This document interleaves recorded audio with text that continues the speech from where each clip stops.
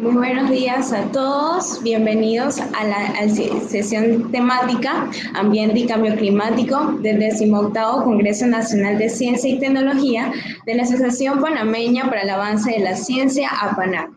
La ciencia como motor del desarrollo y la innovación. Yo, Carol Márquez, seré la moderadora de esta sesión de la sala F, en donde estaremos visualizando alrededor de nueve charlas en torno a la temática de ambiente y cambio climático.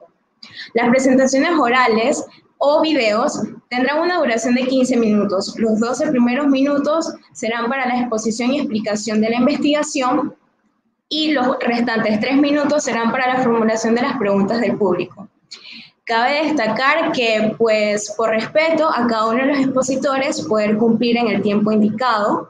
Les agradecemos al público que por favor anoten sus preguntas en la sesión del chat para poder leer eh, aquellas preguntas al final de cada una de las presentaciones y cada expositor pueda dar pues respuestas a sus comentarios. Ahora sí, vamos a dar inicio a las exposiciones. Eh, la primera exposición es el trabajo 198 a cargo de Liz Miller. Buenos días a todos. Es un placer para mí, un honor compartir con ustedes los resultados de mi trabajo de grado, que viene siendo apenas como un pequeño resultado producto del proyecto principal que más adelante me va a mostrar la doctora Opolenko.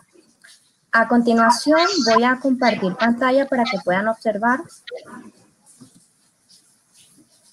eh, la presentación.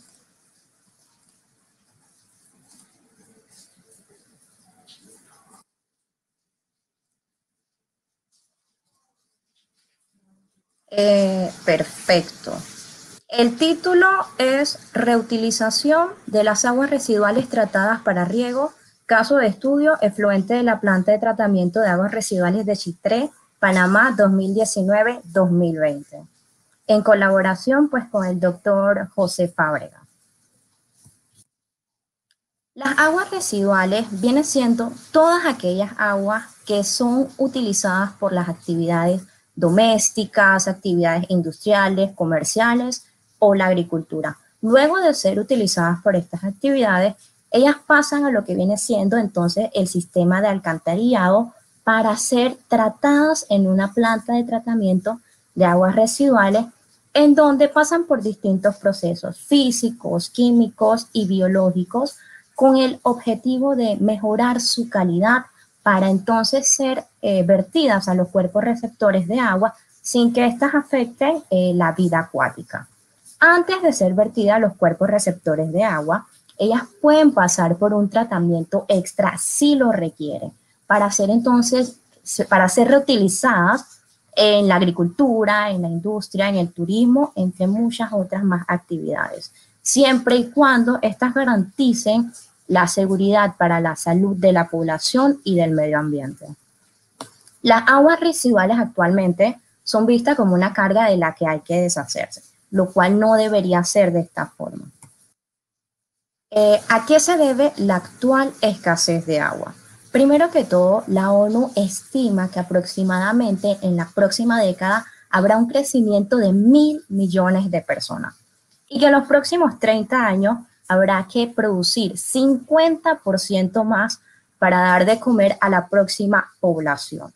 A todo esto se le suma eh, los incrementos de las temperaturas productos del cambio climático, lo cual estamos enfrentando actualmente. El reto mundial entonces va a ser producir más alimentos con menos agua para una población que está en aumento. Y definitivamente, si todo sigue igual, el planeta tendrá que hacer de, enfrentar un déficit global de agua de aquí al 2030, que eso viene siendo aproximadamente unos nueve años. Por lo tanto, toda esta situación pues crea la necesidad de encontrar alternativas viables que nos ayuden a nosotros a satisfacer la creciente demanda de agua y el crecimiento poblacional.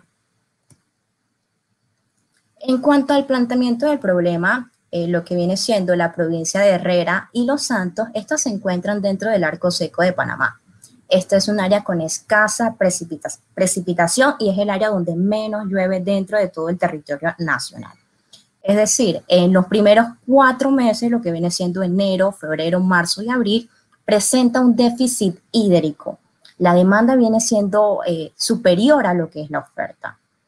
Además de esto, eh, la cuenca presenta bastante deforestación y en su mayoría el territorio está ocupado para lo que viene siendo las actividades agrícolas, ganaderas y la siembra de lo que es el pasto. Por lo tanto, nos planteamos el objetivo general que es evaluar la viabilidad de humedales artificiales para la adecuación del agua de la planta de tratamiento de aguas residuales de Chitré para riego.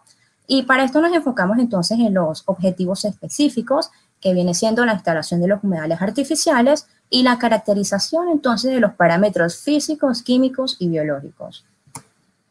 El área de estudio, la localización, se da entonces en la península de Azuero, exactamente en la planta de tratamiento de aguas residuales de Chitré, Actualmente, esta planta no cuenta con ninguna iniciativa de reutilización de sus aguas residuales. Básicamente, esta es una planta nueva que apenas está iniciando operaciones. En cuanto a las legislaciones, nos basamos principalmente en dos.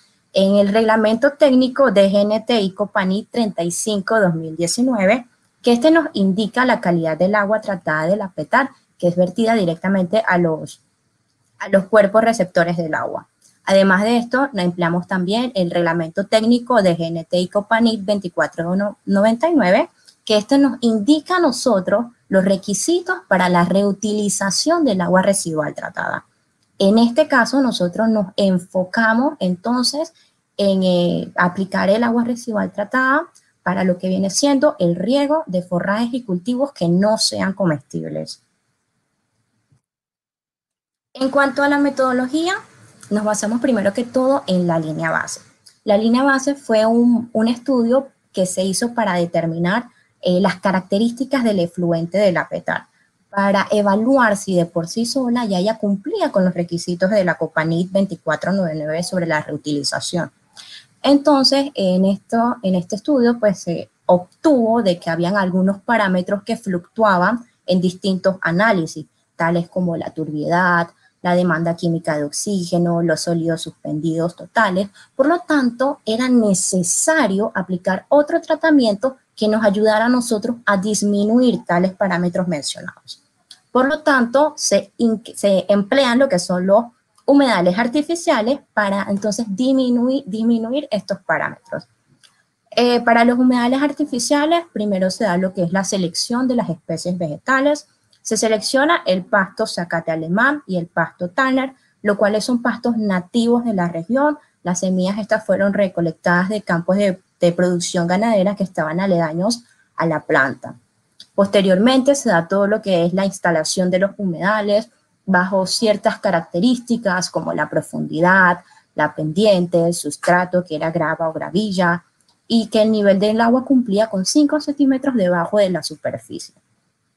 Posteriormente, entonces, realizábamos lo que eran las campañas de muestreo de calidad de agua. Eh, el lugar de muestreo pues, fue un área exclusivamente diseñado para la toma y recolección de las muestras. La frecuencia era aproximadamente de cada dos semanas. Los ensayos se realizaban en los laboratorios de la misma planta de tratamiento o si no, eran enviados a laboratorios privados. En cuanto a las variables y métodos, se los voy a mencionar a continuación. Eh, acá podemos ver en esta tabla la lista de parámetros que se tomaron en consideración, pues cada una de sus unidades, los métodos que se emplearon para eh, determinarlas, el lugar de análisis y el número y cantidad de muestras. Esta viene siendo una representación ya de los resultados de los humedales artificiales. Y pues acá les puedo mostrar los resultados final del efluente de los humedales artificiales, en el cual la mayoría de los parámetros físico-químicos cumplían con ambas normativas, lo cual era eh, fabuloso y esencial para nosotros, eh, con excepción del parámetro de la turbiedad, que sí tenía valores que estaban como muy próximos o muy, un poquito por encima del límite. Por lo tanto, eh, se pudo observar también de que a medida de que el agua residual tratada pasaba por el sistema de tratamiento de humedales, disminuía su, sus concentraciones, lo cual era bastante favorable pues, en comparación con los valores de la entrada. En cuanto a las variables de nutriente, y eh, como lo es el fósforo total y el nitrógeno total, se mostraron muy buenos resultados. Eh, eh, en comparación del pasto Tanner con el pasto zacate alemán, se obtuvo un mayor porcentaje de remoción por parte del pasto zacate alemán en ambos parámetros. En cuanto a las variables biológicas, pues sí hubieron unos cuantos inconvenientes en lo que fueron los análisis de los resultados y los ensayos.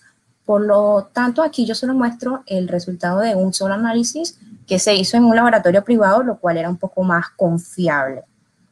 Eh, por lo tanto, acá podíamos observar pues que en su mayoría eh, no, como que no se excedían del límite permisible que era de 1000 NMP por 100 mililitros en su mayoría.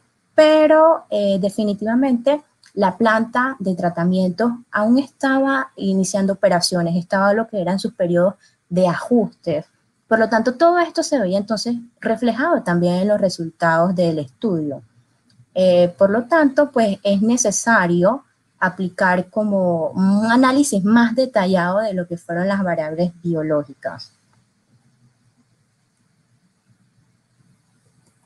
En conclusión, las variables físico-químicas cumplieron en su mayoría con lo que fueron las normativas de reutilización de aguas residuales tratadas, con excepción de lo que fue el parámetro de la turbiedad, pues que sí obtuvo valores que estaban un poco por encima del límite. En cuanto a las variables de coliforme total, definitivamente pues era necesario aplicar un tratamiento más profundo o más detallado ya que eh, con pocos eh, estudios o análisis no, no podíamos dar como una conclusión bastante certera. Entonces se recomienda pues darle seguimiento y continuidad al proyecto. Eh, además de esto, definitivamente las aguas residuales contribuyen con lo que es el desarrollo sostenible de todas las sociedades.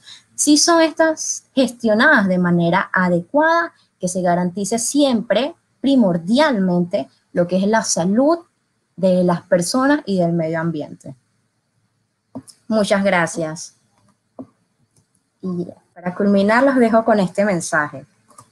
Las aguas residuales, conquistar el oro azul reciclado.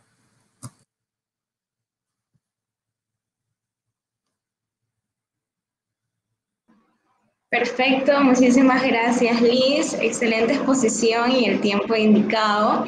Eh, actualmente no tenemos ninguna pregunta. Si el público pues quiera generar alguna pregunta en estos dos, tres minutos que vamos a dar para preguntas, pues estamos abiertos a leerla.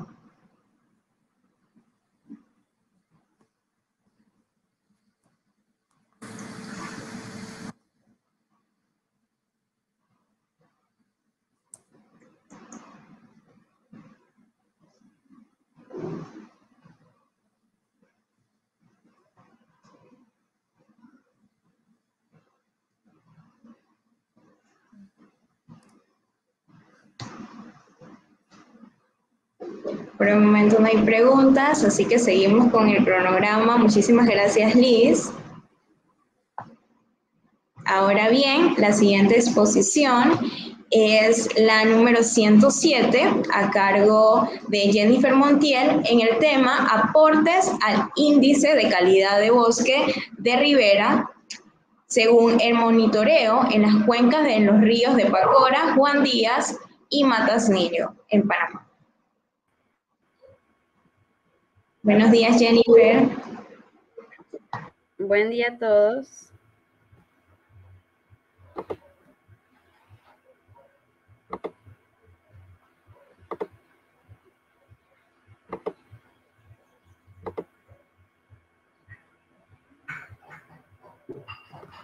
Eh, bueno, aquí les estaré hablando sobre el estudio realizado que lleva como nombre Aportes al índice de calidad de bosque de ribera, VR, según el monitoreo en las cuencas de los ríos Pacora, Guandías y Matasnillo. El mismo fue realizado en la provincia de Panamá, República de Panamá. Como objetivos, eh, tuvimos pues principalmente identificar a nivel de familia las especies más sobresalientes en cada punto de muestreo. Evidenciar la calidad de los bosques de ribera en Panamá, ya que los mismos son indispensables para mantener el caudal de los ríos. Y modificar el protocolo QR eh, no podemos ver tu pantalla. Necesitamos que compartas la pantalla, la presentación.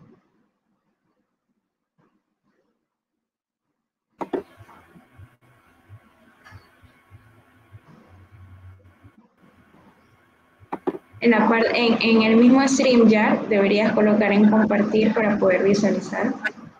Por favor.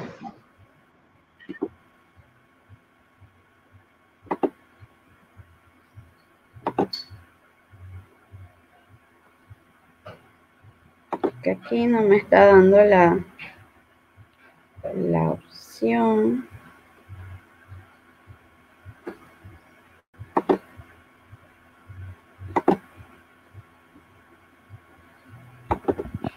Señorita Jennifer, debe dirigirse a compartir, después compartir pantalla, selecciona la pantalla y le da compartir y listo. Y después se puede dirigir a la presentación. Exacto. Ahora sí. Ahora puedes dirigirte a la presentación y empezar, ¿vale? Gracias. Ahora sí pueden observar. Sí, señora. Perfecto. Inicio nuevamente. Eh, el estudio realizado tiene como título Aportes al índice de calidad de bosque de ribera, VR, según el monitoreo en las cuencas de los ríos Pacora, Juan Díaz y Matasnillo, que fue realizado en la provincia de Panamá, República de Panamá. Los objetivos principales de este proyecto fue identificar a nivel de familia las especies más sobresalientes en cada punto de muestreo, evidenciar la calidad de los bosques de ribera en Panamá, ya que los mismos son indispensables para mantener el caudal de los ríos, y modificar el protocolo QBR utilizado el listado de las especies identificadas en campo. El bosque de ribera no es más que la vegetación que se encuentra a lo largo de un cuerpo de agua. Este cumple funciones ecológicas importantes como abastecer de agua a las comunidades. El QBR o Riparian Forest Quality, por sus siglas en inglés o índice de calidad de bosque, es un índice de adaptación rápida y sencilla que integra aspectos biológicos y morfológicos del lecho río y su zona inundable y los utiliza para evaluar la calidad ambiental de las veras. Este mismo cuenta con cuatro bloques independientes en donde cada uno valora aspectos diferentes del sistema, como lo son el grado de cobertura riparia, estructura de la cobertura, calidad de la cobertura y naturalidad del canal fluvial. Cada uno de estos tiene la capacidad de obtener una puntuación entre 0 y 25 para que al sumar los cuatro eh, podamos tener una base a un 100%. El mayor puntaje solamente se obtiene cuando las riberas del cauce no han sido alteradas por acción antrópica. Aquí en esta podemos observar los cuatro bloques eh, que inicia con el grado de la cubierta de la zona de ribera, en donde este nos va a estar haciendo ciertas preguntas sobre el área a estudiar. Entonces, allí podemos ver en acá en la primera, en donde si la zona estudiada tiene un 80% o mayor a un 80% de cobertura vegetal, le, otorgamos una ponderación de 25. Si logramos eh, seleccionar otra puntuación acá, siempre va a ser el valor total 25 para que al sumar los cuatro nos pueda dar eh, un resultado en base a 100 o menor a este. No puedes sobrepasar el 100%. De acuerdo al puntaje obtenido, se toma referencia a la tabla de rangos de ecosistema de Moon et al. 2003, en donde se evidencia con un color la calidad de bosque ribereño. Aquí podemos ver que un color azul, eh, que equivale a un 95% o más que esto, eh, sería muy bueno. Eh, un color verde entre 75 y 90 sigue siendo bueno. La coloración amarilla de 55 a 70% eh, cae en la categoría moderado, que es un inicio de alteración importante en el cauce. El color naranja, entre un 30 y 50%, ya es una alteración fuerte, viene siendo deficiente. Y el rojo, una degradación extrema, este sería con un valor entre 25 o menor a un 25%. Eh, la metodología, eh, utilizamos tramos de 50 metros en los ríos de la ciudad de Panamá, Pacora, Juan Díaz y Matanillo, siguiendo la metodología de Munz. La metodología de Munz dice que se, en ríos pequeños o en estudios pequeños vamos a utilizar tramos de 50 metros a ambos lados del río y nos vamos a colocar eh, observando el cauce a, a, contra de la corriente. Entonces, aquí obtuvimos resultados que lograron evidenciar la calidad del bosque de ribera. Adicionalmente, incorporamos equipos, en este caso un dron, que nos pudo dar una mejor valorización del índice y al identificar las familias florísticas más frecuentes, podemos dar un valor adicional al índice en nuestro país. Cabe destacar que para la identificación de las especies florísticas, el compañero Roberto Vergara, que es un biólogo especialista en el área botánica, nos ayudó en la identificación en campo de las mismas.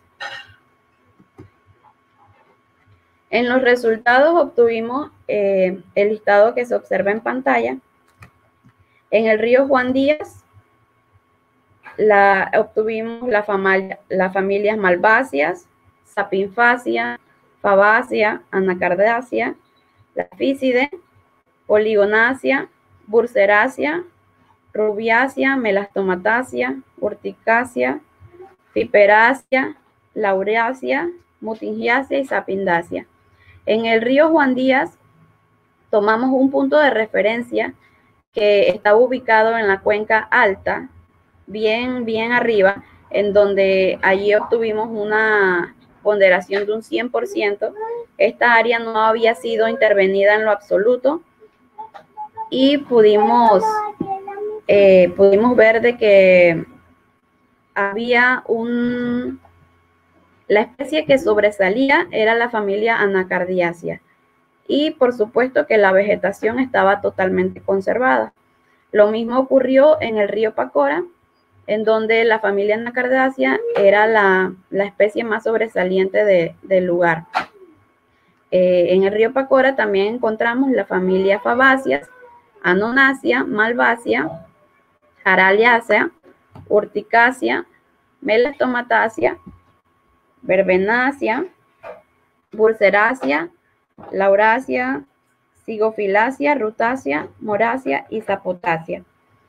En el río Matasnillo, este eh, se puede decir que fue el río que, con mayor intervención antrópica, en donde hay niveles ya de contaminación. Eh, no hay mucha vegetación propia de zonas de ribera y también son las especies que encontramos eh, han sido prácticamente introducidas por el hombre. Aquí podemos mencionar dentro de las familias encontradas la familia Moracia, Meliacia, Anacardácea, Verbenácea, Rosácea, Fagácea, Meliacia, Fabácea, Sapinfacia, Pinácea, Malvacia. En los últimos, el último punto encontramos como tres especies de rizoforacia. Esto debido a que eh, ahí ya hay entrada de marea en el punto bajo. Y familia orticácea. Perdón. Como dato preliminar, podemos decir que identificamos que las cuencas que tienen menos intervención antropogénica tienen una mejor calidad de bosque. Los ríos con mejor índice de calidad de bosque son el río Pacora, el río Juan Díaz y el del índice más bajo, el río Matasnillo, teniendo una escasa vegetación debido al alto grado de contaminación e intervención antrópica. En las imágenes aquí abajo, de izquierda a derecha, podemos observar eh, el punto Juan Díaz de referencia, que es la cuenca alta, donde podemos ver que el bosque y la conexión del mismo es total. Este al brindarle una cobertura máxima al río, eh, va a hacer que sea una zona de una puntuación alta en el índice QBR. En la siguiente imagen podemos eh, observar el punto del río Pacora, de la cuenca baja, en donde ya podemos observar que hay, que hay intervención, eh, vemos carreteras, vemos puentes, se ve una que otra construcción. Eh, también había plantación de teca en esta área de acá, que ya vienen siendo datos que le van a restar puntuación al punto de estudio. Y la última imagen es aquí el río Matasnillo, donde vemos que te atraviesa completamente por el centro de la ciudad, está totalmente canalizado y eh, la vegetación es sumamente escasa. Aquí tenemos un preámbulo de, los datos del macroproyecto en donde se recopiló utilizando ya el protocolo antes mencionado, en donde tenemos los puntos de muestreo y la puntuación que se le, se le ponderó a cada uno, dependiendo la estación. Eh, los muestreos se hicieron en estación lluviosa, estación seca y en la estación de transición de invierno a verano. Aquí podemos ver eh, el mapa con los 14 puntos evaluados dividiéndose de la manera siguiente. 6 puntos en el río Pacora, 4 puntos en el río Juan Díaz y 4 puntos en el río Matasnillo. Según la coloración, podemos ver que en Pacora, desde el punto de referencia hasta el punto 2, la calidad del río es excelente. Ya cuando vamos a cuenca media, que sería el punto 4 y el punto 3, eh, sigue siendo buena, pero ya hay algo de alteración. Y del punto 5 hacia abajo, ya ahí podemos ver que la calidad es muy mala. Acá en el río Juan Díaz, es solamente la, cuenca alta tiene una ponderación excelente.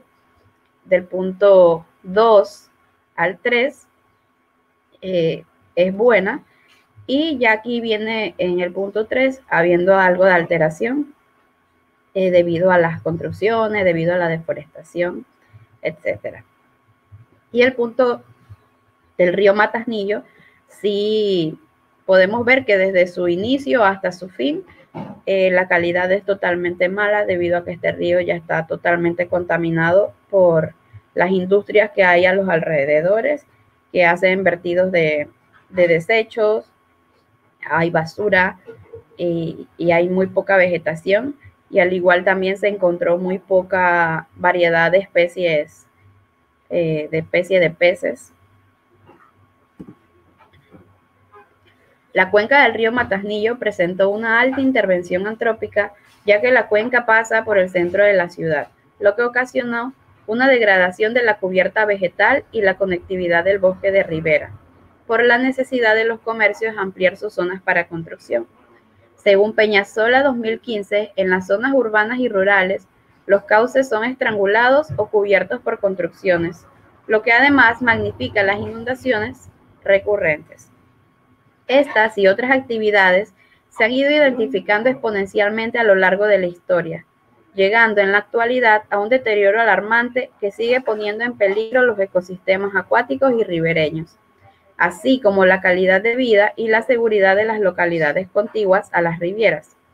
Al no tener una vegetación propia, la cuenca sufre un alto nivel de contaminación en sus afluentes, disminuyendo así la calidad del agua y la diversidad de especies.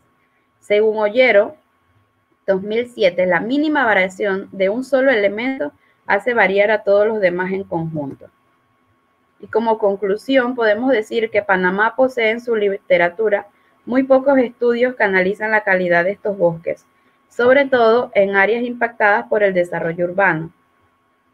Los datos que se obtienen mediante el QBR son un punto clave para así poder crear planes de acción que nos permitan recuperar las zonas más afectadas, teniendo puntos de muestreo fijos que se puedan monitorear cada cierto tiempo para ver su progreso. Los resultados obtenidos serán un registro para futuros estudios que se realicen en Panamá y Latinoamérica.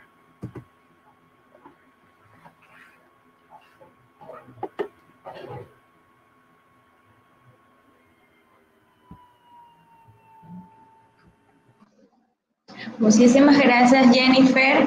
Por el momento no, eh, no tenemos preguntas. Eso sería todo por aquí. No sé si tiene alguna pregunta. No, no tenemos preguntas. Muchísimas gracias. Vamos a dar paso a la siguiente exposición. ¿Podrías apagar el, micrófono? Ok. Eh, la siguiente exposición es de la doctora Valentina. Eh, la exposición es la número 17 con el tema eh, potencialidad de uso de aguas servidas para riego y recarga de acuíferos, cuenca del río La Villa. Buenos días.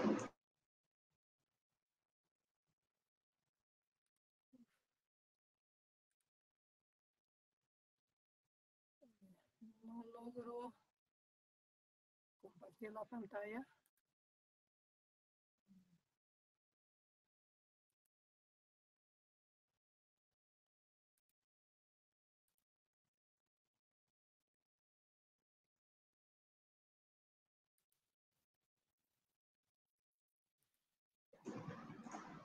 Disculpe, doctora, ¿me escucha?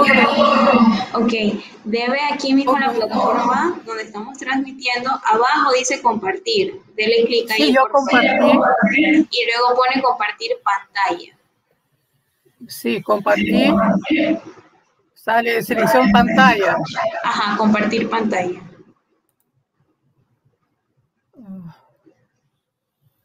No logro, no logro llegar a la presentación.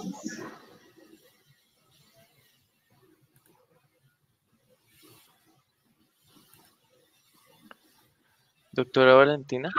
Sí. Debe dirigirse a compartir primero en el StreamYard. Ok. Eso es lo que hice. Compartir pantalla. Eh, Exacto, sí. Ajá. Ahora debe dirigirse a la presentación. Compartir pantalla. Ahí, está, ahí estaba bien. Donde la tenía estaba bien. Compartir pantalla. No encuentro mi presentación. Disculpe, pero verdad que lo siento mucho. No encuentro mi presentación. No se preocupe. ¿Cómo compartirla? Eh, de nuevo, debe dirigirse a compartir. Yo le voy indicando los pasos. Vale. Ajá. Compartir pantalla. Compartir pantalla. Y luego selecciona la pantalla y le da compartir. Pero, ¿cómo selecciona la pantalla? Así como lo hizo al principio, yo vi que la compartió.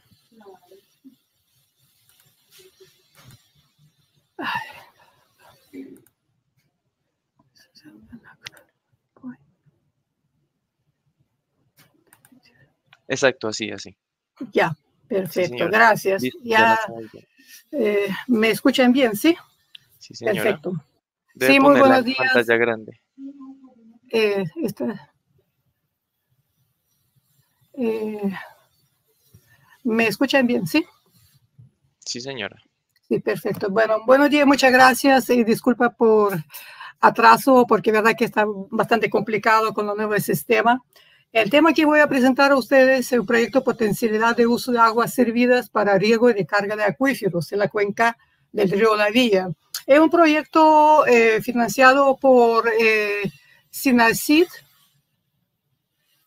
el proyecto es financiado por SINACID y se trabajó conjuntamente con la cooperación de la Universidad eh, Tecnológica de Panamá, así como con la Universidad de España de Sevilla, Pablo de Olavides. Eh, la zona investigada se localiza en la parte baja de la cuenca de la Vía y cuenta con 1.160 eh, kilómetros cuadrados que comprende la parte baja de la cuenca, además eh, zona limítrofe con la cuenca de vecina Río Parita, Río Guararé. Eh, ¿Por qué se hizo ese proyecto de potencial de uso de agua servida? Eh, nosotros analizamos con, año bueno, con años anteriores previos que y dimos cuenta que en la cuenca baja del río La Vía ya existe eh, déficit de recursos hídricos, como siempre esa zona de arco seco. Eh, esa eh, mayor presión y demanda se debe realmente a la alta concentración de la población y un fuerte incremento de actividad agropecuaria, además del cambio climático. Analizando eh, el área de siembra que tiene eh, la parte baja de la cuenca de La Vía, nos dimos cuenta que 15% del área de total de la parte baja de la cuenca es dedicada a la siembra de maíz y 50% al pasto o distinto tipo de pasto.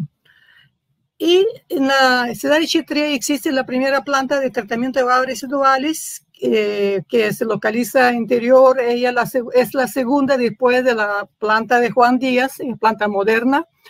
Eh, para año 2025 más o menos se prevé que esta planta manejará 7 millones de galones de agua residuales y para una población de 80 mil habitantes. Vimos este recurso muy, muy aprovechable con la tecnología adecuada y correcta eh, como un ejemplo podemos decir que para, ah, si usamos el riego por goteo y un riego por goteo demanda 1,20 metros cúbicos de agua por hectárea por día, podemos regar con agua que produce, que va a descargar la planta cuando ya entraría en pleno funcionamiento, que todavía está en la etapa de adecuación eh, con esa agua post tratada y recuperada se puede sembrar o eh, eh, regar 1.325 hectáreas, que es una cifra bastante representativa.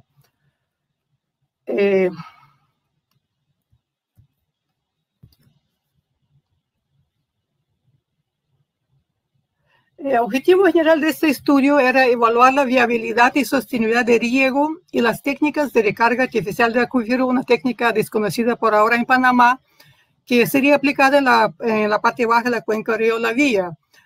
Eh, se usaría aguas de post tratadas ya descargadas de la planta de tratamiento de aguas residuales y las mismas serían recuperadas y se le da uso um, como una fuente alternativa de agua. Entre objetivos específicos era caracterizar esa agua de la hectárea de Chitre, su capacidad de uso, establecer los tratamientos necesarios a fin de mejoramiento y también encontrar eh, potencial de su almacenamiento importante. Eh, había que investigar también la masa de agua subterránea idónea para recibir la recarga artificial de acuífero y qué tipo de recarga se podía aplicar eh, había que analizar la calidad de agua residual tratada que procede de adaptar para garantizar que esa agua sea viable, eh, segura para poder hacer recarga de acuífero o usarla en riego agrícola y también se analizaron condiciones psicológicas para restaurar las zonas degradadas. Eh, metodología aplicada fue basada en ese caso concreto en un análisis multidisciplinario. Se, se hizo un diagnóstico biofísico y socioeconómico que combinó distintos aspectos y todas sus interrelaciones. Y ese análisis comprendió la evaluación de la posibilidad de implementación en Panamá de soluciones tecnológicas para uso de aguas residuales, tales como, por ejemplo, tecnología no convencional para la adecuación de agua post-tratadas en humedales artificiales o y también la recarga artificial de acuífero por excedente de riego e infiltración. ¿Qué representan los humedales artificiales? Eh, es un sistema, pues procesos naturales que nos permiten mejorar la calidad de agua con el uso de las plantas. Eh, existen distintos tipos de eh, humedales con flujo superficial, subsuperficial, emergente, planta flotante, etc. Nosotros eh, decidimos utilizar el sistema de emergente de flujo subsuperficial. En este caso concreto, agua, nivel de agua está por debajo del sustrato, lo que no implica la creación de mosquitos, etcétera, y malos olores. Para el método de carga artificial de acuíferos se tomó en consideración la geología, hidrogeología del área y se, eh, se tomó decisión de utilizar eh, la, recarga superficial por inundación o por exceso, infiltración del exceso de agua de riego. Los resultados del proyecto fueron los siguientes. Se elaboró un diseño conceptual del mecanismo de depuración de aguas de la planta, procedente de la planta de Chitré. Tenemos en área de la Vía de los Santos una laguna de oxidación que no está en funcionamiento porque aguas de los Santos va a entrar directo a la Aptar por bombeo y la laguna de Monagrillo que va, tiene el mismo destino. Agua de, la laguna, antes se descargaba la laguna, ahora a través de estación de bombeo entra, entran a adaptar directo. Nosotros podemos ver que esas son dos lagunas que tienen una superficie de 29 mil metros cuadrados una y 34 mil metros cuadrados otra, 3.4 hectáreas, 2.9 hectáreas, que es bastante. Y si nosotros eh, tenemos una cantidad de agua se deposita con un espesor establecido para poder tratar de 65 centímetros. Podemos entre ambas lagunas eh, a recoger casi, bueno, a dar uso a 11 millones de galones de agua al día. Claro que si toda esta agua de la planta entra al sistema de post-tratamiento. Para hacer la fase experimental establecer tipo de planta eh, idónea para eh, depuración a fines de aguas, eh, también el tiempo de retención, etcétera. En la propia planta de tratamiento se instaló en un módulo, nos prestaron un módulo, un lecho de secado.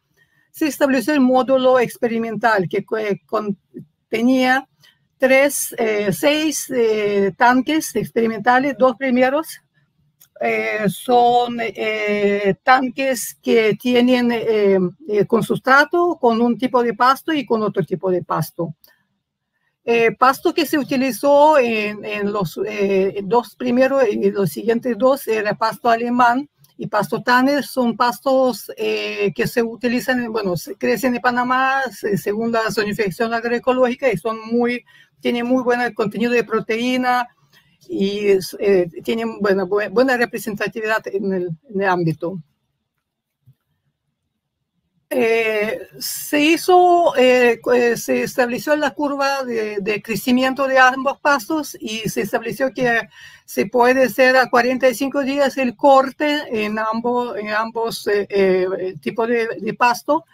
Y aquí usted puede ver que, por ejemplo, que produce pasto alemán y que produce pasto Tanner. Eh, su producción se llevó, se extrapoló a, hectáreas y nuestra laguna en total tiene 6.3 hectáreas. Así que se estableció que con eh, ambos tipos de pasto se puede, con el pasto alemán se puede alimentar hasta, solamente haciendo el corte de cada 45 días de este pasto se puede alimentar hasta 60 vacas y con el pasto Tanner 40 vacas. Eh, se analizó la parte eh, de calidad de agua, eh, cumpliendo con la norma de Copanit. Aquí puede ver dos gráficas donde entra agua a los módulos. bueno, se trabajó con todos los parámetros, pero como ejemplo nada más tengo parámetro fósforo total y nitrógeno total. Usted puede ver cómo eh, cada módulo tiene remoción, la línea roja, esa entrada de agua de, la planta a los módulos, a los humedales y cómo salen eh, con el tiempo. Son distintos eh, fechas de monitoreo. Y tiempo de retención en esta tanque era de, un día. Doctora Valentina, qué pena interrumpirla. ¿Podría, por favor, volvernos a compartir la pantalla ya que no están pasando los slides? No. Ay, ¿Dónde estoy? Eh, no, en este momento todavía nos muestra que está en el primero. Lo que puede hacer es dejar de compartir pantalla, volverla a compartir, pero esta vez darle a la opción Entire Screen. Toda la pantalla. Compartir pantalla. Así estaba antes. Compartir pantalla. Este.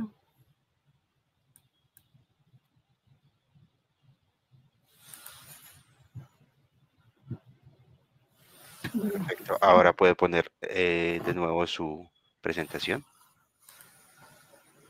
Pero ya perdí casi todo el tiempo, ¿hasta donde entiendo? No se preocupe, puede iniciar de donde. No pasó ni una sola diapositiva. Eh, no estoy seguro, doctora, creo que no, pero si quieren no se preocupe, vuelve y empieza, no hay problema. No, pero bueno, yo, eh, vi que no corría la pantalla, pero bueno. Eh, voy a entrar a la parte experimental en caso tal, si no se logró compartir, eh, ya después podrán ver a quien interesa eh, que se hizo la parte experimental y los resultados. Como diseño conceptual, como he explicado, nosotros establecimos eh, el uso de dos lagunas de Monagrillo y de la vía Los Santos, que están ahora en desuso por la entrada de nueva planta. Ambas lagunas tienen capacidad de recibir eh, hasta 11 millones de galones de agua diaria, pero la planta produce a su máxima capacidad 7 millones. Así que hay capacidad de depuración y hacer también los módulos de, de almacenamiento se establece eh, en propia, la, dentro de la planta potabilizado eh, de agua, eh, planta de tratamiento de aguas residuales se instaló en un lecho de secado, nos permitieron instalar módulos experimentales. Instalamos tanques que fueron alimentados con agua salida de sedimentadores. se sembraron pasto alemán y pasto tanner y dos tanques quedaron como blancos sin ninguna vegetación eh, esos son los tipos de pasto que escogieron para ese tipo de, tratamiento como humedad artificial. Puede ver el crecimiento muy, muy eh, activo de, eh, de, las plantas. Las primeras plantas son Tanner, después viene pasto alemán y después viene el blanco. ambas plantas tienen muy buen contenido de proteína y muy buena para alimentación del ganado se observó la curva de, crecimiento de pasto alemán y eh, pasto tanner, se estableció la producción por hectárea de, este tipo de, vegetación y también se estableció cantidad de animales que se podía alimentar solamente con el corte de cuando si se trabajaría en la laguna como humedal artificial y solamente dando mantenimiento a esa laguna, haciendo el corte, se puede alimentar en, la, cada 45 días, se saca esa cantidad de materia. Eh, se trabajó la parte de calidad de agua, se estableció el parámetro de entrada y salida según la norma de Copanit. Se puede observar cómo eh, eh, proceso de remoción de fósforo total y de nitrógeno total en la entrada de los módulos, en la salida de los módulos, con un tiempo de retención hidráulico de un día.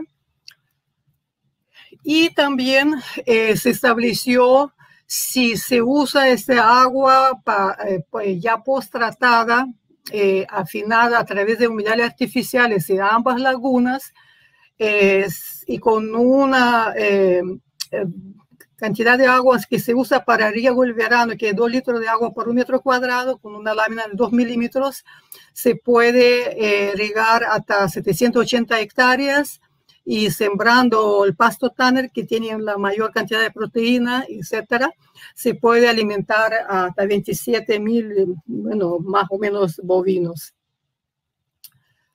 Además de establecer la parte de viabilidad de post-tratamiento de aguas residuales con humedales artificiales, también se hizo un estudio geológico de detalle y eh, de primera aproximación eh, en, área, la parte baja de la cuenca para establecer eh, las zonas acuíferas que son idóneas para recibir eh, recarga de acuíferos y si tenían capacidad de almacenamiento.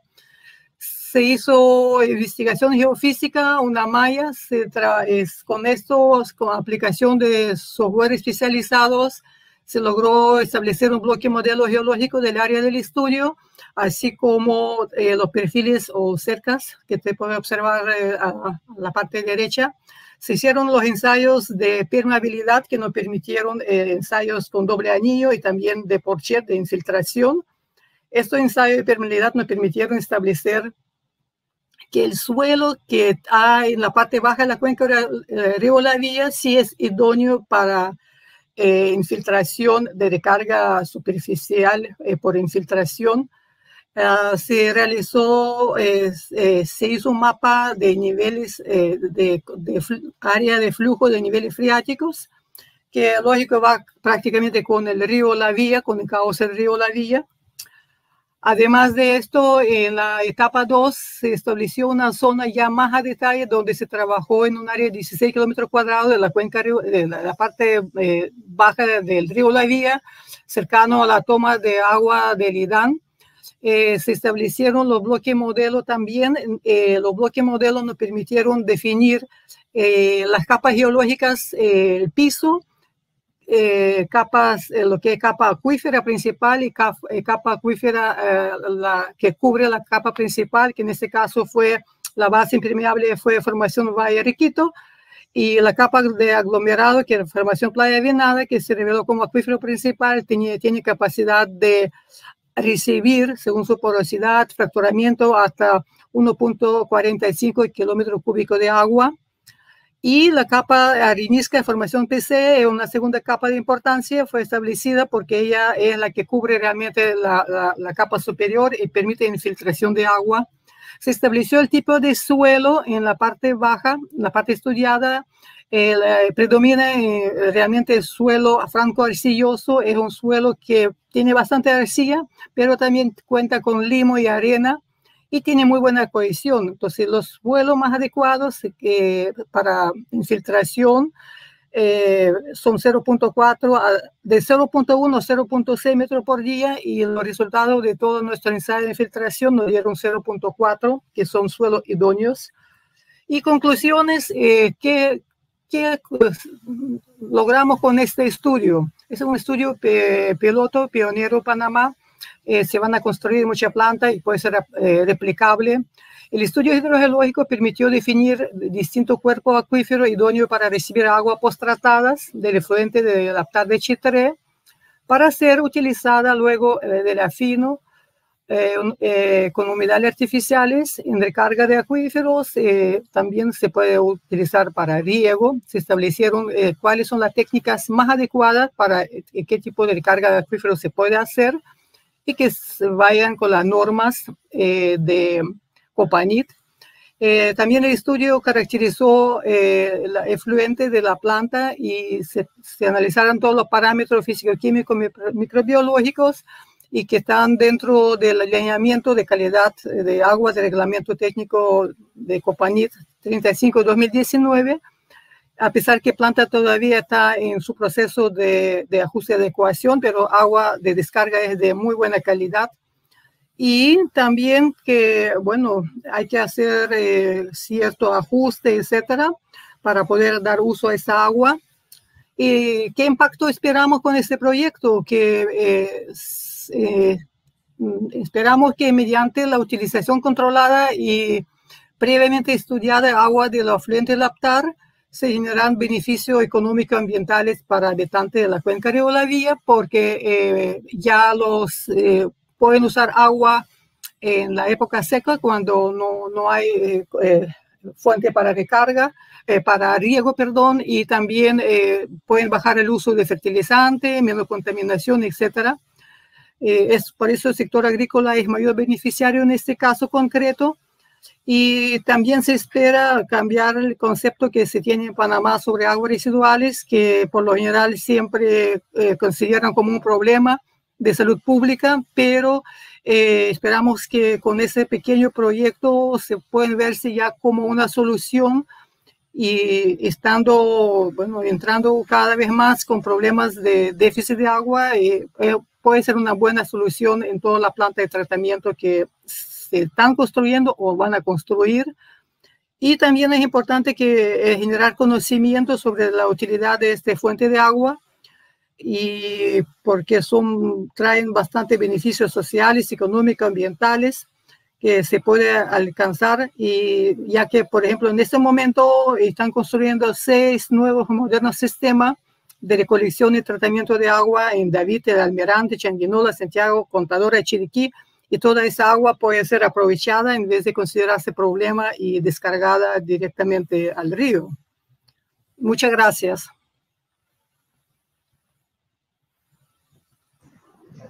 Muchas gracias, doctora. Eh, actualmente no tenemos preguntas. Eh, ah, bueno, aquí hay una.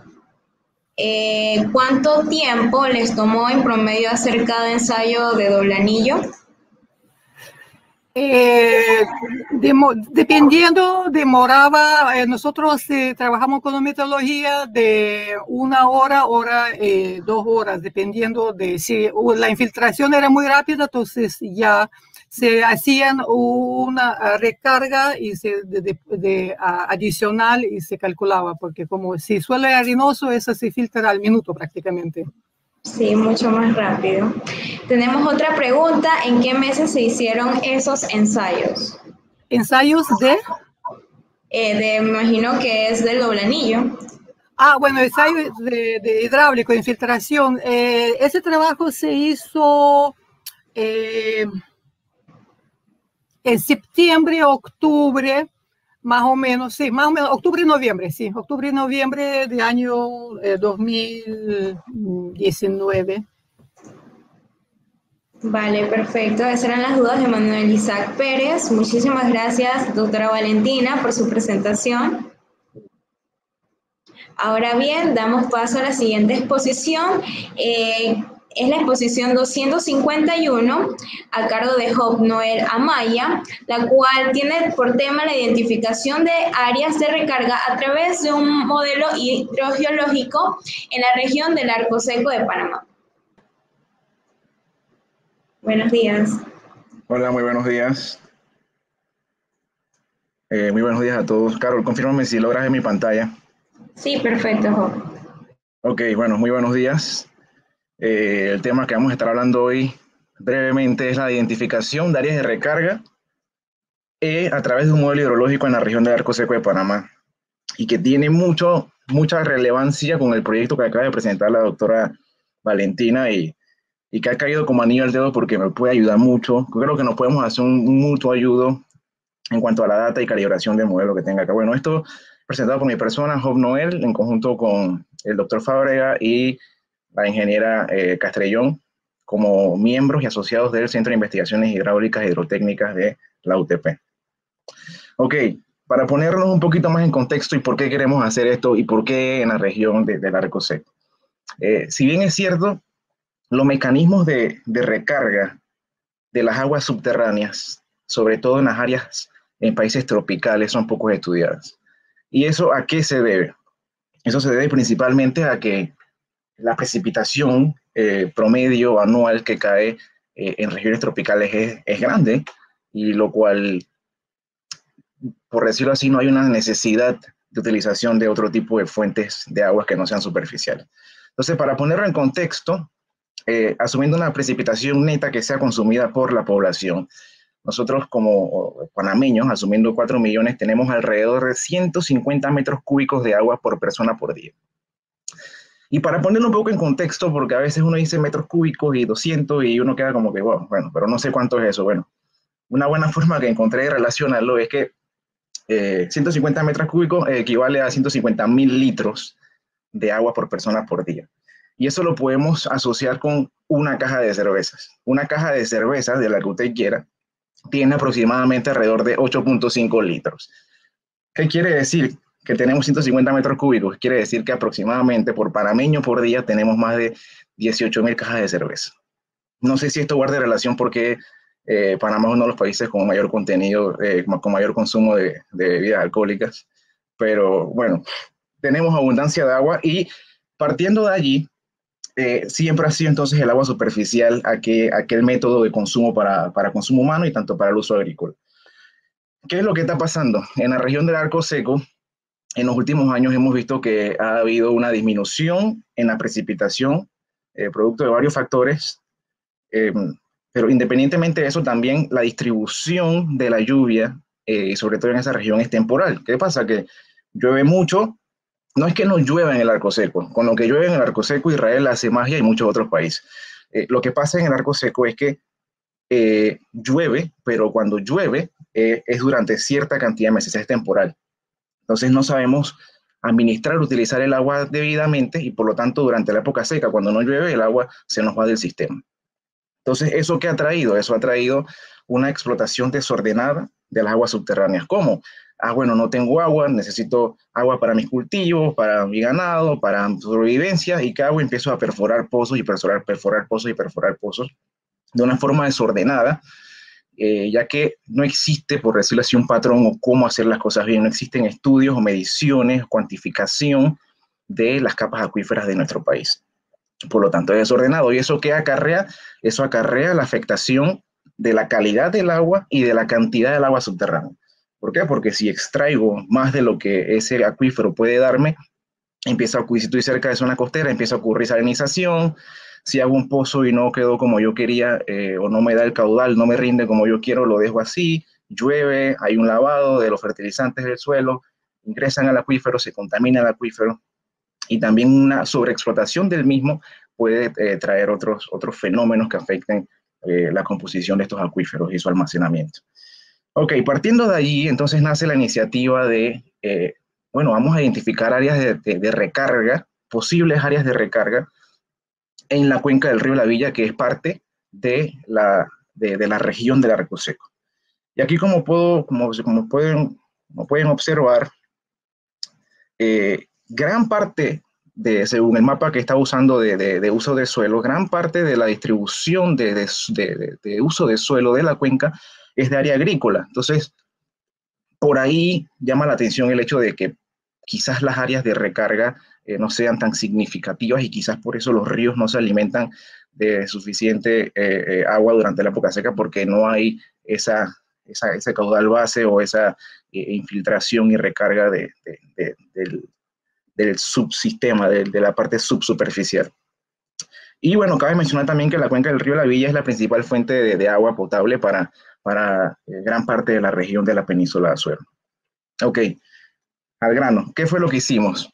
Hicimos un, hicimos un modelamiento hidrológico a través de la herramienta QGIS, en donde el objetivo era definir unidades de respuesta hidrológicas. En inglés se le conoce como HRU. Eh, para ello, utilizamos ciertas capas que son eh, necesarias para que el modelo pueda correr eh, como nosotros así lo queremos. Y dentro, dentro de ellas están, bueno, un, un, raster, que es el modelo de elevación digital, eh, otro, otro tape file o, vector o, raster igual de, del uso de, uso de la tierra, o el uso de suelo. Eh, a través del DEM se generan también pendientes y también otra, otro, otro mapa o información del el tipo de suelo, que, que, es muy importante. Entonces, bueno, para ello, como, como lo tengo acá escrito, utilicé las, las, las condiciones o, las, los mapas con las características que se pueden ver allí. Eh, para suelos, en Panamá tenemos buenos mapas de suelos, sin embargo, son mapas que no están completos y que no tienen información eh, completa, y valga la redundancia, para poder correr los modelos adecuadamente. Entonces, si encontramos mapas de uso de suelo que dicen, ah, bueno, este suelo franco, suelo eh, arcilloso, arenoso, etcétera, pero hace falta mucha más información para poder que el modelo pueda tener un mejor entendimiento del mismo. Luego de allí, de la plataforma eh, del software QIS, entonces entra lo que es el modelo SWAT, que, en verdad es el, que hace la corrida del modelo a través del el software de QIS. Y en este caso utilizamos el SWAT Plus, en donde él agarra todo el procesamiento que hizo QIS y entonces genera eh, los resultados que nosotros estamos buscando y que en este caso era eh, eh, un modelo hidrológico para identificar áreas de recarga. Entonces, bueno, para ello también necesita data de generación de data climática. En este caso, utilizamos valores estándares y que son proporcionados por el software de, de SWOT. Eh, y bueno, y por último se corre el modelo. Entonces, ¿cuál es el resultado preliminar? Encontramos un total de 275 HRU y para este estudio hicimos una, una corrida que fue del año 87 al 2011, producto de, de la información que teníamos. El warm-up period de tres años es ese proceso en donde el modelo corre, pero no guarda la información como para que empiece, eh, para que dé inicio a, la, a, la, corrida de las variables y empezar a registrar información, pero empieza eh, eh, como tal a, a presentarlas a partir de, de, después de los tres años. Y bueno, como vemos aquí en el mapa, que este mapa es un resultado preliminar, como bien lo dice, porque si vemos, eh, bueno, hace sentido desde el punto de vista de que hay una mayor recarga o las zonas de recarga de la cuenca del río de la Villa se encuentran más ubicadas en la parte alta de la cuenca. Como podemos ver en la parte roja, más que todo de uso, eh, uso agrícola, eh, urbano, semiurbano, y por lo tanto las tasas de infiltraciones en la parte baja son menores, pero sería bueno, que ahorita que acabo de ver el estudio de la doctora Valentina, ver eh, de repente con mayor precisión eh, la información que ella tenga y puede calibrar este modelo de una mejor forma, podría ser una buena colaboración. En fin, eh, algo que cabe mencionar aquí es que si se fijan, estos son valores de infiltración un poco exagerados y que si tuviéramos esta infiltración en la, en la cuenca del río La Villa, hubiese agua para alimentar a todo, todo, todo Centroamérica, de ser posible. Eh, por lo tanto, y estos valores dan, dan, dan de esa manera producto de, de, la información que yo le estoy alimentando al modelo. Como les dije, este son resultados preliminares y por lo tanto la información que utilicé es información que, que tiene una, una resolución eh, muy, muy grande y por lo tanto la estimación de las zonas de recarga eh, son un poco exageradas. Sin embargo, el, el, el, objetivo, el comportamiento, lo que estábamos buscando de, de, de ver espacialmente y temporalmente las zonas de recarga lo, lo, lo, lo, muestra en este mapa y en esta simulación que voy a correr aquí, que va a ser la simulación de las zonas de recarga. Este es un promedio de todos los años, este, este mapa que está acá, y en, este, en esta slide que viene es la simulación de cada año de cómo se comporta eh, la, la, la, recarga o la, o la infiltración en la cuenca de Río La Villa. Entonces, como pueden ver acá, si se fijan, acá va cambiando el año y van viendo cómo va eh, cambiando esos, esos, esos layers de, de, de, infiltración en, en, la, en, la, cuenca del río La Villa. Y me atrevería a decir, pero tendría que, que, tener mucha más justificación para esto, pero se ve a través de la corrida que a medida que van pasando los años, independientemente de los altos valores de infiltración, eh, van disminuyendo a medida que van pasando el año. O sea que habría que hacer un, un estudio eh, o enfocar y ver que, que, cómo comprobar esto siempre, si es falso o no. Ok, eh, las limitantes, y como bien mencioné, eh, hay, hay, muchos factores dentro de un modelo que, que, influyen mucho en el resultado. Y dentro de ello es las proyecciones de cambio de uso de suelo. Por lo menos hicimos una corrida del 90 al, al, al 2010. Sin embargo, el uso de suelo ha ido cambiando y eso lo podemos ver en mapas de uso de suelo o podemos ver en imágenes satelitales, ver cómo el, el, el uso de suelo va cambiando. Por lo tanto, tener un modelo acercado a la realidad cuesta un poco por el hecho de que hay cambios y en este caso este modelo no lo toma en cuenta. Eh, por otro dato también, por, eh, por otro lado, también el, el, el, acceso a la data de, de, una mejor resolución, de una resolución más específica, podría también ayudar mucho. Eh, por lo menos en este caso, como les mencioné, utilicé el mapa de la FAO en vez de utilizar otro mapa que fuese eh, más detallado, pero, pero por falta de información no se pudieron utilizar. Y bueno, por ende también eh, se necesitan estudios más detallados de las cuencas como el que acaban de presentar, porque eso ayuda a alimentar modelos y ayuda a, a, al avance de, de, la ciencia y el estudio de las aguas eh, hidrológicas y, y, subterráneas, de las aguas superficiales y subterráneas. Entonces, dentro de, de, los pasos a seguir, acá tenemos, bueno, calibrar el modelo, tenemos que calibrarlo con una estación de medida de caudal que tenemos allí, aplicar nueva data, eh, sobre todo de TESA, de cómo podemos conseguir de precipitación, temperatura, y hacer comparaciones también de estas zonas de recarga con otras metodologías como reclasificación. Y bueno, en, dentro de las conclusiones, bueno, se, eh, se, logró parte del, no, se logró el objetivo que era identificar zonas de áreas de recarga. Sin embargo, bueno, eh, al alimentar y mejorando el modelo vamos a poder tener una mayor precisión. Sin embargo, hay, un, hay una clara tendencia de, de, de cómo es el comportamiento de las, de, y dónde están las, las mejores y, y, las, y, las áreas de recarga.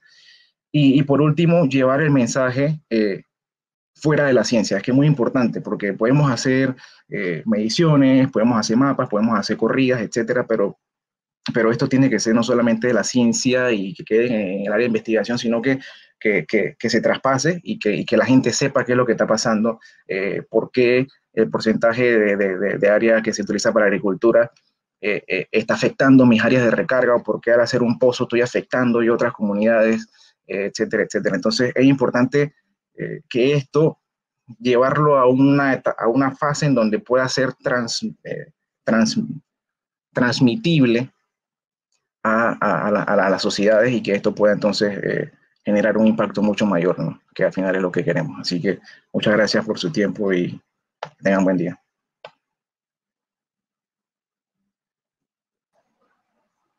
Perfecto, Job. Muchísimas gracias. Eh, actualmente no tenemos preguntas en cuanto a tu exposición.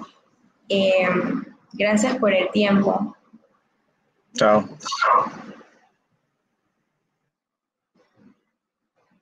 Ok, la siguiente exposición es la número 193 a cargo de Suri Rodríguez con el tema Estimación y análisis de la demanda hídrica de la subcuenca de río Estibaná como parte del balance hídrico. Buenos días, Suri.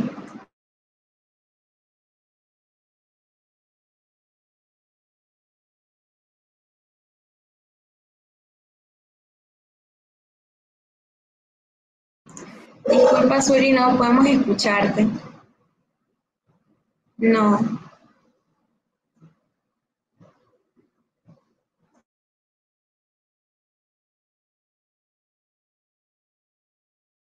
Ahora si sale el micrófono deberías activarlo.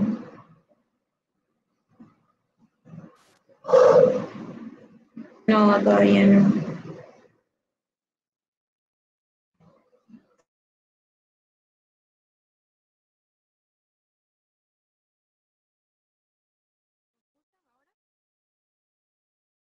No, tampoco sé.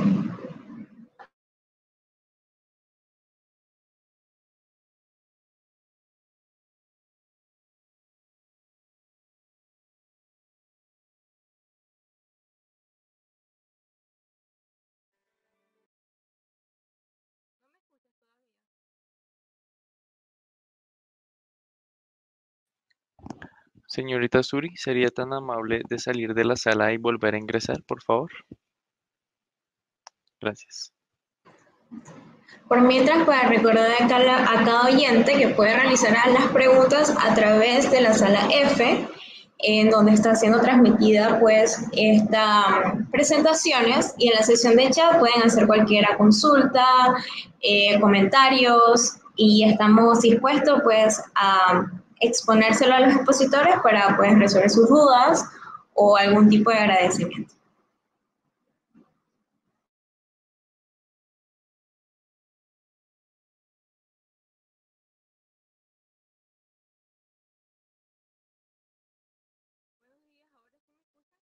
No, soy.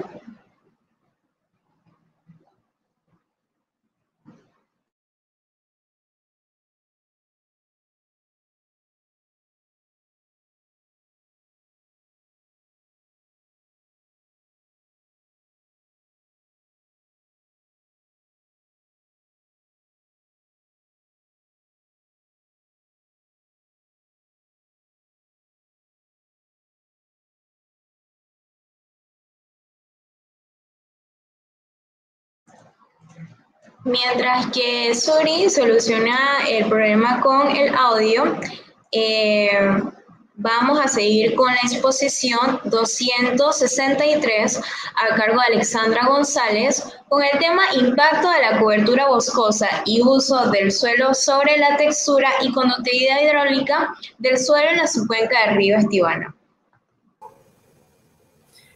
Buenos días, Buenos días a todos. ¿Me escuchan? Sí, Alexandra, perfecto. Ok, voy a compartir la pantalla.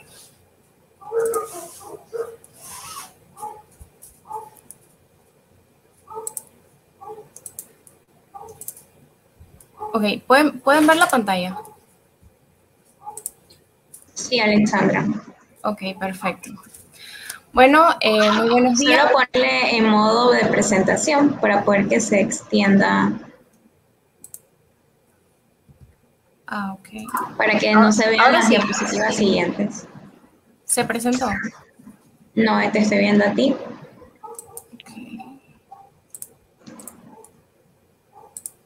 Señorita Alexandra, como lo hiciste al principio estaba bien, ¿vale? Yo ¿Ah, te sí? indico. Sí, señor. Ah, ah, Yo te indico el siguiente paso. Ok. Ahora puedes dar F5 y empezar. Ok, ¿ahora sí? Ya puse F5. Ok, no se proyecta. Ok. Mm, No, no se proyecta. Mm. ¿Ahora? No, no estoy viendo tu pantalla. Vuelve a hacer el proceso nuevamente. Ok. Voy Compárteme a... toda la pantalla, ¿vale? Ok. Gracias.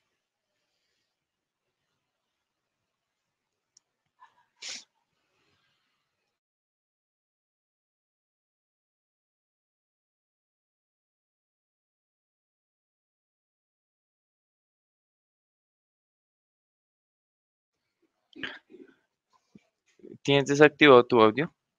Actívalo y ya. Ok. Ahora sí puedes dirigirte a la presentación y empezar. Gracias. Ok, ahora sí. Sí, señora. Ah, ok, perfecto. Bueno, el, título de esta investigación pues es Impacto de la cobertura boscosa y el uso del suelo sobre la textura y la conductividad hidráulica, específicamente en la subcuenca del río Estibaná. Y pues los que formamos parte de esta investigación, Gerald Rodríguez, el doctor José Fábrega y mi persona, eh, Alexandra González. Y bueno, a manera de introducción, eh, vamos a estar viendo eh, y los impactos pues sobre el suelo y sobre el agua, eh, específicamente en la subcuenca del río Estibaná. Y me pareció eh, importante poder esquematizar de esta manera los impactos pues que puede tener el uso del suelo sobre elementos como el, el, suelo y el agua, generando impactos como erosión, alteración a propiedades físicas del suelo y a lo que también conlleva a una escasez del recurso eh, hídrico. Y eh, pues podemos ver esto de que el uso del suelo y la cobertura boscosa pues son indicadores que muestran la manera en cómo eh, las sociedades pueden manejar sus sistemas, sus agroecosistemas. Y, y, bueno, puede contribuir a una degradación del uso del suelo, a una deforestación masiva de la cobertura boscosa, pérdida de suelos, eh, y extinción pues de las, de las aguas tanto superficiales como de los acuíferos. Y por eso es importante poder ver esto de una manera eh, sistemática, con un enfoque sistemático. Eh, dentro de, de, los objetivos, pues vamos a identificar las clases texturales dentro de la subcuenca del río Estibaná, medir la conductividad hidráulica no saturada y su relación con las texturas encontradas y evaluar entonces el impacto que, que tienen sobre estas propiedades el manejo actual de los agroecosistemas dentro de la subcuenca. Como conceptos vamos a manejar lo que es eh, la textura del suelo y la conductividad hidráulica no saturada. Eh, la textura del suelo pues, es una propiedad exclusiva de, los suelos en la fase sólida y esto eh, se refiere al contenido en porcentaje de las partículas de arena, limo y arcilla que se clasifican dentro del triángulo de textura como se muestra aquí en la imagen, que, eh, tiene 12 clases texturales. y eh, la conductividad hidráulica eh, depende mucho de la textura y también de la estructura del suelo. Sin embargo, aquí solamente vamos a ver la relación con la textura y pues se define como la facilidad que tiene el agua de, de poder moverse sobre el medio poroso del suelo.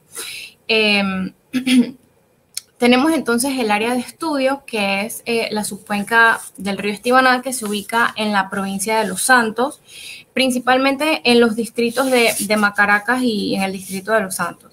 Em, este río, pues, es el principal afluente del río La Villa, de ahí radica la importancia de, esta subcuenca y em, también de que debido a la escasez que presenta em, la península de Azuero con respecto al recurso agua, pues tanto el río La Villa como el río Estibaná pues son muy importantes en cuanto a, en cuanto a agua. Em, dentro de la subcuenca pues el, recurso agua se utiliza mucho para lo que es el consumo doméstico, eh, riegos industriales y eh, cultivos, ¿verdad? Em, sin embargo, pues el recurso dentro de la misma subcuenca pues es limitado ya que pertenece a lo que es el, arco seco, como hemos visto ya en las, en las eh, presentaciones anteriores. Y eh, esta región del arco seco pues se ve muy desfavorecida por climáticamente y eh, se ha sometido durante décadas a lo que es una degradación ambiental, ¿verdad? Eh, producto de la principal actividad económica dentro del área, que es la, actividad agrícola eh, o agropecuaria, eh, que se desarrolla de manera intensiva, que ha, devastado en gran manera lo que es la, cobertura boscosa, ha afectado mucho la condición de los suelos. Y sumado a esto, pues las altas temperaturas que se ven en la, en la misma región y los cambios en la precipitación también han dado lugar a, sequías muy prolongadas en el área.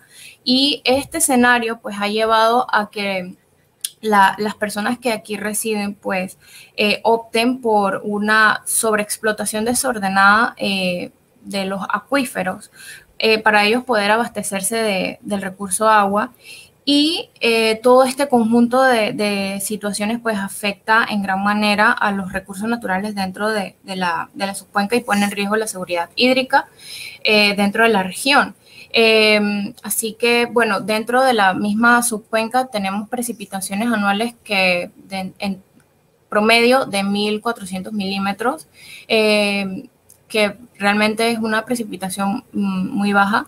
Eh, con respecto al nivel nacional y tenemos también un, un área de 296 kilómetros cuadrados.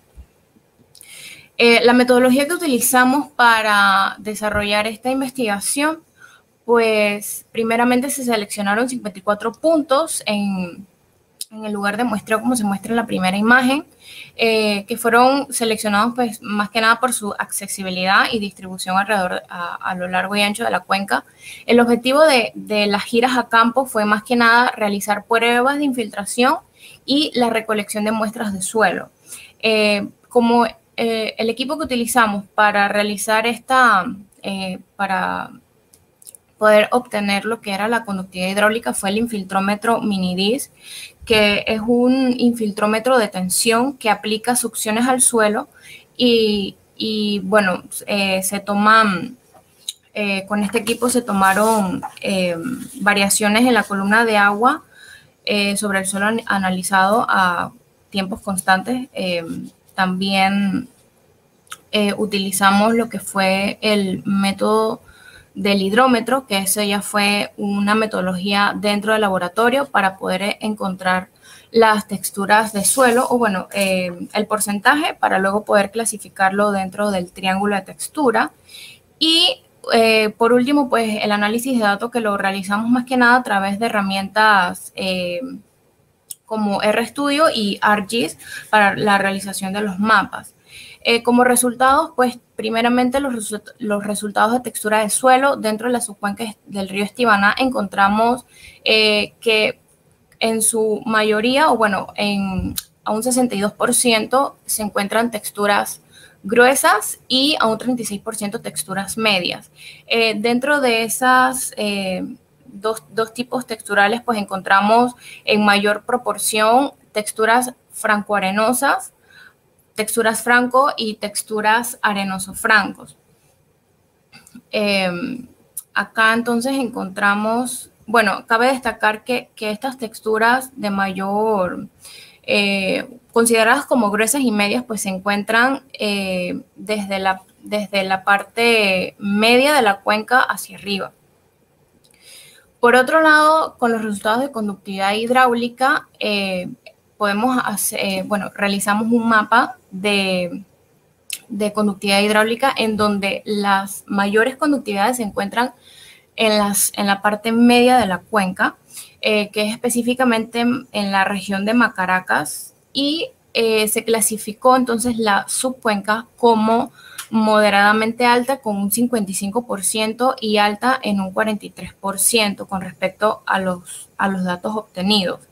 Eh, como había dicho anteriormente, la conductividad depende mucho de la textura y como vimos también de que la cuenca cuenta con texturas gruesas y medias, pues por ende las conductividades se van a comportar de esta misma manera, eh, siendo la, francoarenosa, eh, que es una de las que guarda mayor proporción dentro de la subcuenca, se clasifica pues como alta y la textura franco como moderadamente alta.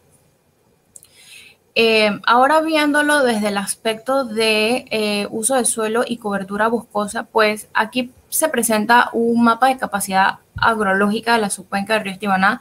Esto es de, del mapa de CONADE del 2014 para la, provincia de Los Santos.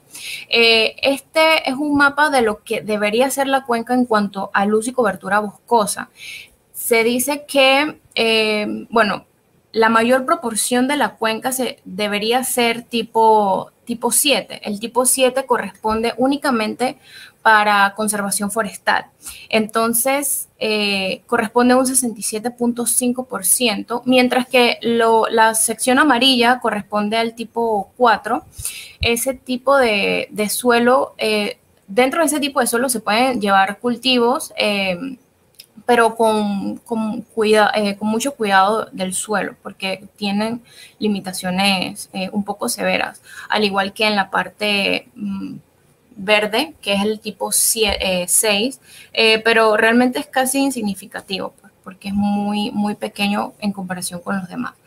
Ahora vemos un contraste de lo que realmente es actualmente, según el mapa de uso de suelo y cobertura boscosa para la subcuenca, contamos con un 83% de pasto y uso agropecuario, o sea que realmente no se está utilizando la cuenca como debería ser.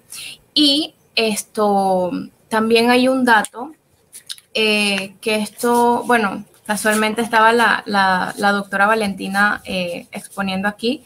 Eh, ella realizó un estudio de sensibilidad ambiental para la cuenca del río La Villa y allí se exponía que para los suelos eh, frágiles como son los de la cuenca tanto del río La Villa como la del río Estibaná, se necesita una carga de ganado de una unidad o menor a una unidad de ganado por hectárea.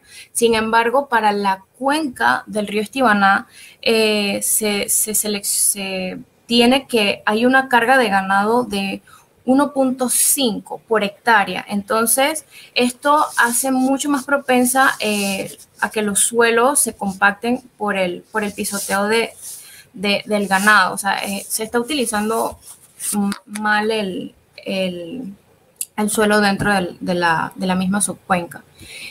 Y esto pues, pues genera impactos. Eh, al tener una unidad de ganado por hectárea mayor a la que se requieren estos tipos de suelos, genera una mayor compactación.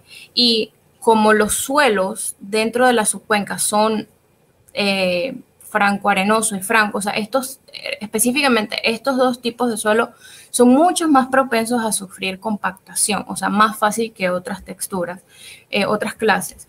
Eh, mayor erosión porque al suelo estar compactado y descubierta porque no hay eh, cobertura boscosa, pues incrementan la erosión y, pues la escorrentía provoca la pérdida de, de, materia orgánica que es necesaria pues para poder desarrollar cultivos dentro del área.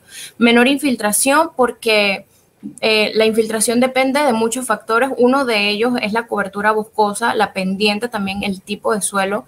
Y al afectarse estos factores, como ya hemos visto, pues se reducen las cargas eh, de aguas subterráneas y muy bien lo veíamos en la presentación anterior de, de Hop, eh, de que no, no, no se encuentra como que una infiltración muy adecuada para el área y también aumenta la evapotranspiración, o sea que se altera un poco el ciclo hidrológico en, en, cuanto a mantener el agua dentro del área, ya que según el estudio del balance hídrico realizado por eh, nuestros compañeros Suri, Rodríguez y Arsenio Martínez, eh, pudieron destacar o pudieron eh, dentro de su análisis pues que el 66% de la precipitación se va entonces en lo que es la evapotranspiración y esto es más que nada pues porque no hay cobertura boscosa, simplemente pastos.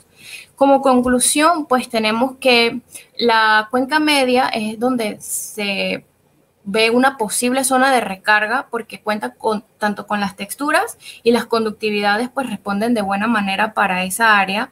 Eh, sin embargo, por no darle el uso adecuado que corresponde, pues se puede estar viendo impactada esta área. Eh, y también pues que esto es un llamado de, de atención a que se pueda dar un, maneja, un manejo adecuado o, un mejoramiento pues, a los usos de, suelo dentro de la subcuenca, eh, como incentivar prácticas de, conservación para que no se vean afectados los, acuíferos y tampoco los suelos. Y, y, si esto se llevase a cabo, pues la cuenca podría tener una mejor respuesta en cuanto a estos aspectos. Muchas gracias.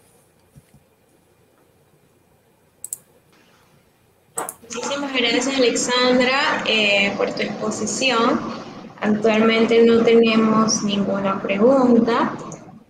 Eh, así que pasaremos a la exposición de Suri. En cuanto a si genera alguna consulta, yo te avisaría, Alexandra, para que contestes en la sesión de chat.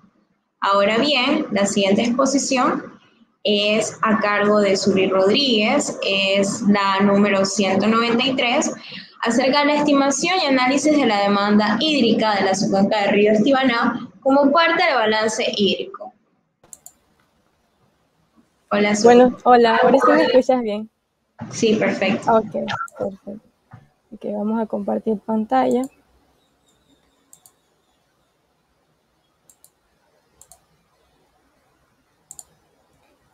Y me confirman. sí, se puede ver. Ok. Eh, buenos días a todos. Eh, para mí es un gusto poder hablarles sobre la estimación y análisis de la demanda hídrica de la subcuenca de Río Estibaná como parte de lo que fue eh, nuestra tesis junto a mi compañero Senio Martínez de balance hídrico en la subcuenca correspondiente al año hidrológico 2018-2019. Bien, la subcuenca eh, se localiza, como bien me imagino que ya Alexandra lo mencionó, en la provincia de Los Santos, en la cuenca 128 del río La Villa. Tiene una superficie de 296 kilómetros cuadrados y en cuanto al clima, está dentro de lo que ya han mencionado todos los expositores anteriores, pues de la región del Arco Seco. Eh, y como bien ya creo que ha quedado claro que es una región que posee eh, una la menor disponibilidad hídrica a, nivel nacional. En cuanto a la precipitación, eh, me gustaría mencionar que la promedio anual es de 1.400 milímetros. La temperatura generalmente varía de 22 grados Celsius a 34 grados Celsius. Entre otras características está que la red hidrográfica eh, forma parte de la vertiente Pacífico Central, es una frente secundario y tiene una longitud eh, de 44 kilómetros. En cuanto a la topografía, las elevaciones varían de 31 a 789 metros sobre el nivel del mar.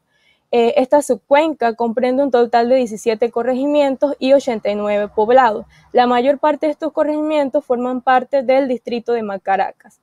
En cuanto al pasto, que ya mi compañera Alexandra lo mencionó, eh, representa un 83.4%. Y también eh, la subcuenca cuenta con 11 acueductos rurales, 14 pozos y dos plantas potabilizadoras. Dicho esto, eh, la problemática en sí de esta subcuenca es que eh, como la población de la subcuenca depende directamente de actividades como la agricultura y la ganadería, representan muy buena, esto representa muy buena parte de, de este consumo y actualmente, como ya mencioné, la población eh, se, eh, tiene, obtiene el agua a partir de acueductos rurales, dos plantas potabilizadoras y pozos. Sin embargo, el problema realmente radica es en las épocas secas, especialmente en aquellos años donde se da el fenómeno del niño, el cual pues ya eh, conocemos que retrasa las lluvias. Bien, el objetivo de, esta, de lo que vamos a presentar, lo que estoy presentando era determinar la demanda hídrica de la subcuenca en tres sectores principales, eh, la población, la ganadería y la agricultura, para el periodo comprendido desde abril 2018 hasta marzo 2019, que es el año hidrológico que estamos estudiando. Como bien eh, les mencioné anteriormente, eh, la demanda hídrica forma parte del balance hídrico que fue nuestra tesis. Aquí presento la A ver, déjenme buscar. Ok, aquí presento la ecuación del balance y también a la izquierda un modelo conceptual desarrollado para la subcuenca del río Estivana. Bien, estos son los tres eh, sectores que vamos a desarrollar, empezando con la demanda doméstica. Eh, se utilizaron datos del INEC, específicamente las estimaciones futuras de crecimiento de la población para el año 2020. Y bueno, aquí se presenta la ecuación que se utilizó para el cálculo, tomando de referencia que el consumo per cápita para las áreas rurales es de 30 galones por habitantes por día, según eh, la fuente ANAN eh, en el, 2008. En cuanto a la demanda agrícola y ganadera, usamos bases de datos de MIDA de tres agencias principales que son Macaracas, Tres Quebradas y la Villa de los Santos. Esta información se procesó a través del programa ARGIS versión 10.7 para ubicar todos aquellos productores que estaban dentro de la subcuenca. Eh, luego se aplicaron eh, encuestas para validar eh, todos los datos, tanto de, bueno, de agricultura y ganadería. Ok, para demanda agrícola tenemos esta fórmula que fue la que se utilizó para el cálculo eh, dentro de, lo cual pues quiero destacar que utilizamos eh, un promedio de los coeficientes de cultivos del manual de la FAO, eh, la evapotranspiración potencial, el coeficiente de eficiencia de riego que en esta subcuenca utilizan mayormente el riego por goteo y también se seleccionaron ocho cultivos principales distribuidos en tres familias, solanácea, cucurbitácea y gramíneas. Aquí también pueden ver eh, la encuesta, la sección que se aplicó para eh, los agricultores. En cuanto a la demanda ganadera, eh, se hizo un análisis de calibración de consumo del ganado bovino, que es el que estábamos estudiando para, para este estudio. Para saber el consumo de agua de cada animal se realizó una cuantificación en función del crecimiento, o sea, la masa, eh, en función del tiempo que vendría siendo la edad y en función de la temperatura, debido a que el crecimiento puede ser distinto en cada etapa de la vida del animal. Se estudiaron tres rangos. Eh, bovinos recién nacidos a un año, de uno a dos años y con más de tres años. Bien, acá está la fórmula que se eh, utilizó para el cálculo, donde pues quiero destacar que la cantidad de bovinos según el Fuentes del MIDA de 2018 fue de 32.000 cabezas de ganado.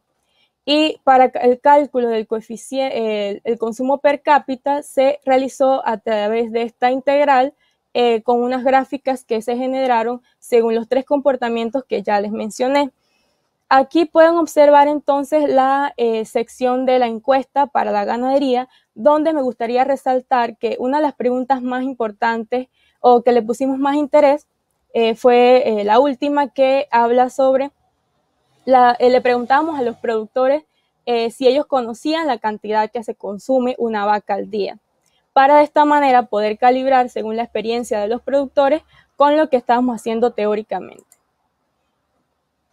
En cuanto a los resultados y discusión para demanda doméstica, se obtuvo un volumen anual de 300 280.797 metros cúbicos, tomando de referencia que la, estimación de la población para el 2020 eh, de esta subcuenca es de 9.285 habitantes.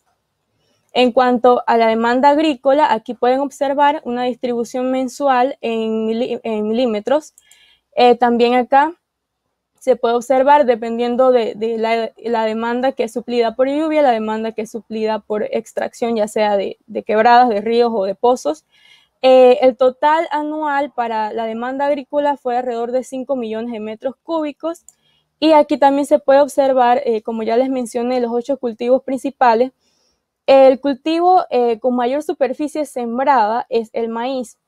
Dicho esto, Aquí presento dos mapas, uno tomando referencia a la información de 2012 del mapa de cobertura boscosa y comparado con, el año de estudio. Se puede observar que ha visto una disminución en la superficie sembrada de este cultivo, sin embargo, pues eh, continúa siendo el cultivo eh, que mayor se siembra en la subcuenca. Acá en estos mapas se presentan los cultivos de la familia de Solanaceae y Cucurbitácea. ¿Cuál eh, realmente es la importancia de estos cultivos? Es que estos cultivos eh, usualmente se siembran a inicio de la, estación seca, como en diciembre, o sea, iniciando, y estos van a requerir, un riego por goteo. Por lo tanto, el agua eh, va a ser extraída ya sea de quebradas, de ríos y de pozos profundos.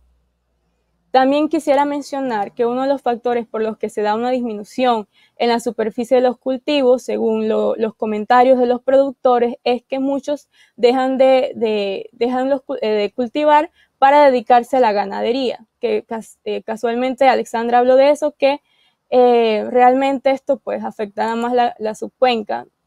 En cuanto otro factor puede ser los cambios en los patrones de precipitación, que muchos nos mencionaban, pues la sequía que hubo en el 2015, que fueron eh, realmente afectados todos eh, los cultivos.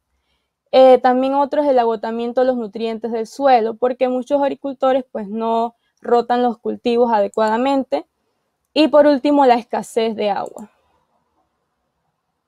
Bien, en cuanto a la demanda ganadera, se obtuvo un consumo per cápita de 45 litros bovinos por día en el rango de recién nacidos a un año de edad.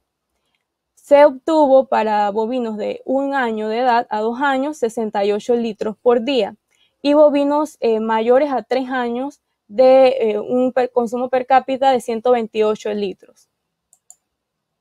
Bien, a manera de resumen, eh, aquí se, se, presenta pues que la demanda agrícola representa un 81% de la demanda total. Luego le sigue la demanda ganadera con un 13% y por último la demanda doméstica con un 6%. Y bien, a manera de, conclusión y recomendación, eh, la demanda doméstica, a pesar de que la demanda es pequeña en comparación con las la de ganadera y la agrícola, se ve realmente eh, afectada durante los meses de escasez lluviosa, ya que al disminuir eh, el caudal de los ríos, la capacidad de las plantas potabilizadoras va a disminuir también. Eh, en cuanto a la demanda agrícola, representa, como ya vieron en la PPT anterior, la mayor demanda, pero se ve afectada también en los meses de las épocas secas, porque también los niveles de los ríos disminuyen, eh, por lo tanto, los productores tienden a usar pozos profundos, los cuales también llegan a agotarse eh, en esta época. En cuanto a la demanda ganadera, se obtuvo un consumo promedio alrededor de 79 eh, litros por bovinos por día. En general, es necesario ampliar la capacidad de almacenamiento del agua mediante nuevas políticas e infraestructuras para asegurar una gestión sostenible del recurso hídrico de la subcuenca. Así que bueno, muchas gracias.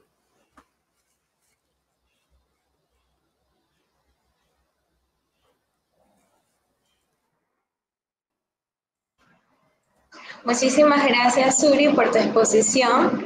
Actualmente no tenemos consulta. En caso de que hayan, pues yo te avisaría para que, pues, a través de la sesión de chat puedas consultar a, esas dudas del público. Muchísimas gracias, Suri. Muchas gracias. Ahora bien, la siguiente exposición es la número 295 a cargo de Claudia Carranza y mi persona Carol Márquez sobre la caracterización de la textura de suelo en la subcuenca del río Saratí para la evaluación del sistema de agua subterránea. Hola a todos.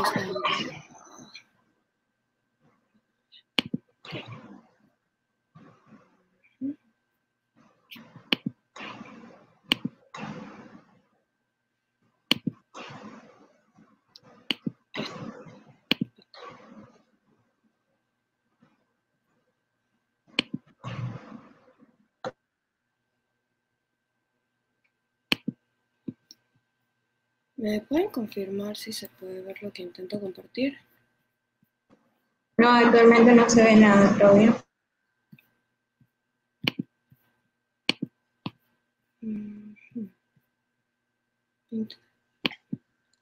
Señorita Claudia, debe dirigirse a compartir, después compartir pantalla y comparte toda la pantalla, por favor.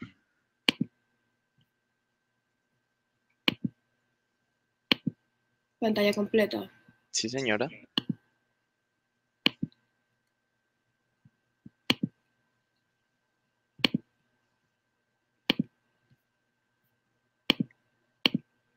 Tengo dos opciones, StreamYard o pantalla completa. Pantalla completa. Ok.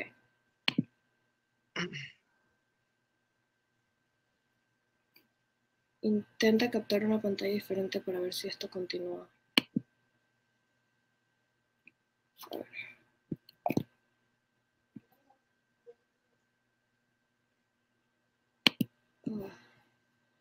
¿No?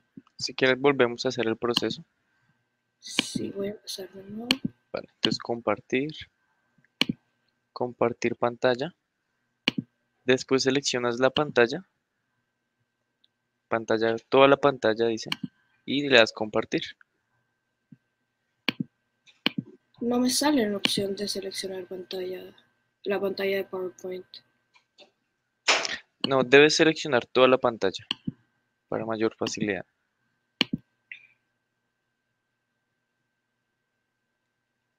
Permitir.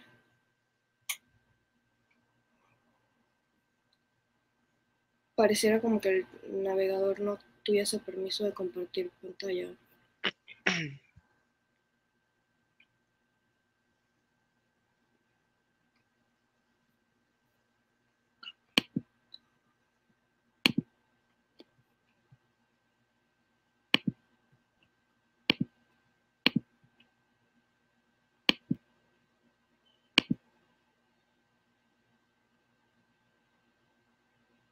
No, no. Sale, el navegador no tiene acceso a tu pantalla. Intenta captar una pantalla diferente para ver si esto continúa. Ok. Ok, Carol ya no las va a compartir. Listo. Súper, gracias. Bien, ah, empezando la presentación, mi nombre... Discúlpame, Claudia, es para ya no tener que encender el audio ni nada. Ya, parece. Ok, eh, buenos días a todo el público del Congreso de PONAC. Eh, como Carol mencionó antes, estaremos hablándoles sobre la caracterización de la textura del suelo en la subcuenca del río Saratí para evaluar el sistema de agua subterránea. Este estudio también se realizó en marco del estudio hidrológico y pedológico de la subcuenca del río Saratí, un proyecto del SENACIP. Ok, eh, brevemente le hablaremos de por qué es importante lo que, lo que estamos haciendo, el estudio preliminar. Le explicaremos exactamente qué fue lo que realizamos para poder determinar la textura del suelo, los resultados que obtuvimos y las conclusiones a partir de dichos resultados. El estudio se realiza en la subcuenca del río Saratí, un área de interés porque se encuentra en la región del Arco Seco, donde tenemos escasez de agua durante la temporada seca. Este efecto podría haberse incrementado debido a también efectos del cambio climático, en donde la temporada seca sería incluso prolongada. Se hizo el estudio también en el río Saratí, en la subcuenca del río Saratí, porque este tiene importancia para el pueblo de Penonomé. En este río se encuentra también la toma de agua para la planta potabilizadora de la ciudad de Penonomé. Eh, sin embargo, por, por efectos de sequía, por temas de sequía, la capacidad del río se ve reducida, por lo que las autoridades y la población deben recurrir a fuentes de agua subterránea.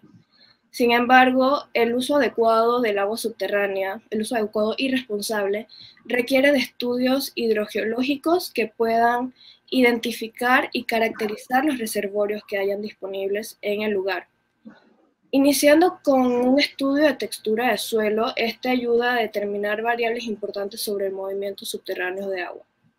Este estudio se realiza en solamente las capas superficiales de la Tierra, creando así una línea base para consultores, investigadores y autoridades que quieran saber más de este tema y desarrollar temas eh, más complejos como la conductividad hidráulica o la infiltración del agua. Eh, rápidamente le iremos eh, detallando la metodología, empezando con giras de campo que se realizaron en los meses de julio, agosto y diciembre del 2019 y en enero del 2020, para así visitar durante temporada seca y temporada lluviosa. Se dividió la subcuenca en tres partes, en la zona baja, en la zona media y la zona alta mostradas en el mapa, en la que en la que en la zona baja se vieron cinco puntos de muestreo, en la zona media seis puntos de muestreo y la zona alta ocho puntos de muestreo, estos dependiendo de la extensión de cada región. En cada punto de muestreo se tomaron de 4 a 6 muestras de suelo que serían posteriormente evaluadas en laboratorios de la Universidad Tecnológica de Panamá. En este mapa mostramos entonces la localización de cada lugar con su respectivo nombre. posteriormente, con las muestras de suelo, que se, se requerían al menos 400 gramos de estas para realizar las pruebas de laboratorio, se recolectaron más bien un kilogramo de suelo en campo, como ya mencionamos, de 4 o 6 muestras por lugar, para analizarlos en el laboratorio de, de ensayo de materiales y en el laboratorio de sistemas ambientales de la Universidad Tecnológica de Panamá. En total se analizaron 103 muestras eh, distribuidas en todo, en todo el territorio de la subcuenca. Eh, estas se hicieron con dos pruebas diferentes, cada una con su respectiva normativa ASTM. Por una parte, la prueba del tamizaje con la norma ASTM D6913 y la prueba de hidrometría con la prueba ASTM D7928. En la que la prueba de tamizaje era para separar mecánicamente por medio de mallas de distintos tamaños, se separan las partículas del suelo a partir de su diámetro. Y por otra parte, el hidrómetro, que funcionaba solamente para partículas finas, esto separaba eh, los distintos diámetros presentes de las partículas de suelo según la velocidad en la que iban disminuyendo en la probeta de un litro, como se muestra en la imagen. Una vez se realizaron estas dos pruebas del laboratorio, se debían procesar por el método escogido. En este caso, en este estudio, se realizaron dos, eh, dos métodos de procesamiento de datos para luego comparar estos resultados. Uno de estos fue utilizando la función texture del paquete análisis en el programa RStudio y otro fue por medio de la hoja, una hoja de cálculo proporcionada por el laboratorio mismo de ensayo de materiales en el que la diferencia entre estos dos programas es que el primero que mencioné, la función texture, solamente requería los datos de la segunda prueba, de la prueba del hidrómetro, mientras que la hoja de cálculo solo requería las, eh, los resultados del tamizaje y de la prueba del hidrómetro. En la hoja de cálculo, eh, esta realizaba una gráfica semilogarítmica en la que en el eje vertical tenía eh, los porcentajes que pasaban de, partículas de suelo y en el eje horizontal tenía los tamaños de partículas. Esta última estaba dada en una escala logarítmica. A partir de esa gráfica, la hoja de cálculo entonces calcula los porcentajes de grava, arena, limo y arcilla. Cabe mencionar que esta hoja de cálculo solamente puede procesar una muestra a la vez.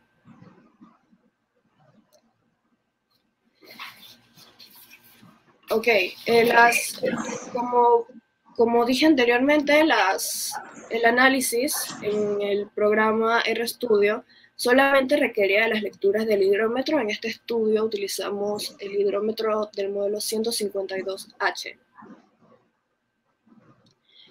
Eh, eh, aquí se muestra entonces la pantalla de trabajo de la función texture en el paquete análisis en RStudio. Esta lo que realizaba era que con los datos del hidrómetro, que eran aproximadamente 8 datos, que se ven indicados en la parte inferior derecha, ajustaba estos datos, estos puntos, a una curva estadística ya conocida y extrapolaba entonces eh, los porcentajes de arena, limo y arcilla. Em, este programa puede de hecho procesar varias muestras a la vez, con gran rapidez.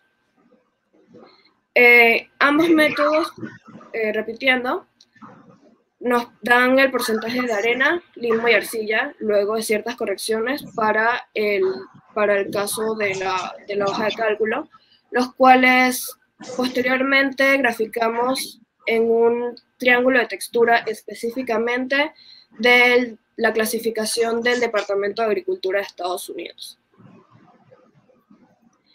El triángulo de textura lo, se hizo también gracias al programa de ReStudio, esta vez con el paquete Soil Texture, que ayuda a recopilar, normalizar y graficar estos datos de porcentaje de, de arena, limo y arcilla aquí está la pantalla de trabajo y como resultante, pues arroja el triángulo de textura como se ve en la parte derecha inferior. Ahora bien, con todo este procesamiento eh, vamos a, visualizar los resultados y la discusión de cada uno de ellos. Como, como dijo anteriormente Claudia, estamos basados en una clasificación de USA. Aquí podemos ver que pues, esta clasificación determina 12 tipos de textura y a la mano derecha podemos visualizar las variaciones para cada una de ellas. Ahora bien, con esta base de clasificación eh, realizamos, como dijo también anteriormente Claudia en la parte de metodología, triángulos de textura de suelo. Cabe destacar que por cada zona eh, realizamos dos tipos de triángulos ya que estamos implementando dos sistemas diferentes, la de datos normalizados y la función texture, para poder analizar la data de diferentes formas. Aquí podemos ver los dos triángulos resultantes según la, composición de porcentajes de, arena, limo y arcilla. Para cada una de las muestras, como, como se ve detallado en cada puntito, podemos visualizar el nombre de la muestra y abajo, pues, eh, el detalle de cada uno de los colores, qué zonas de la, de la subcuenta representa estas muestras. También podemos ver eh, en la parte de la zona media los valores que nos dieron por cada muestra.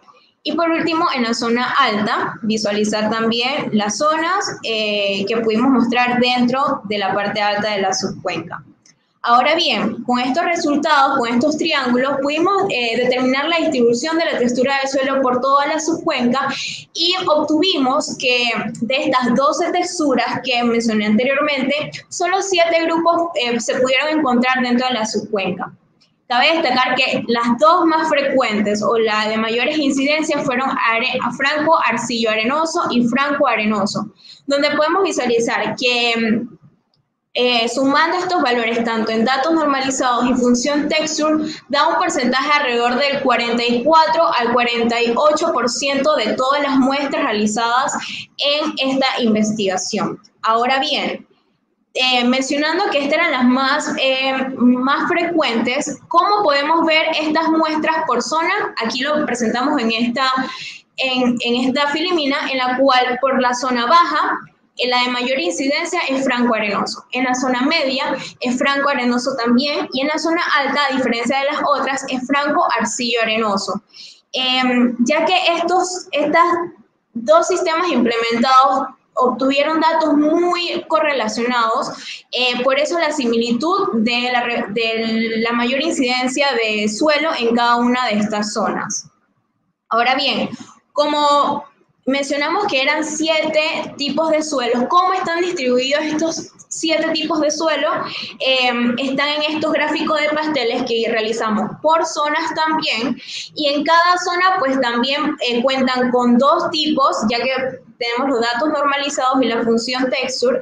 Y aquí podemos abrir eh, y visualizar ampliamente cuáles eran los porcentajes de cada uno de estos tipos de suelo. Aquí podemos ver que igual en la zona baja la de mayor incidencia con un alrededor de 26% sigue siendo franco-arenoso. En la zona media sigue siendo también franco-arenoso, pero con un alrededor de 36% de las muestras evaluadas en esta zona.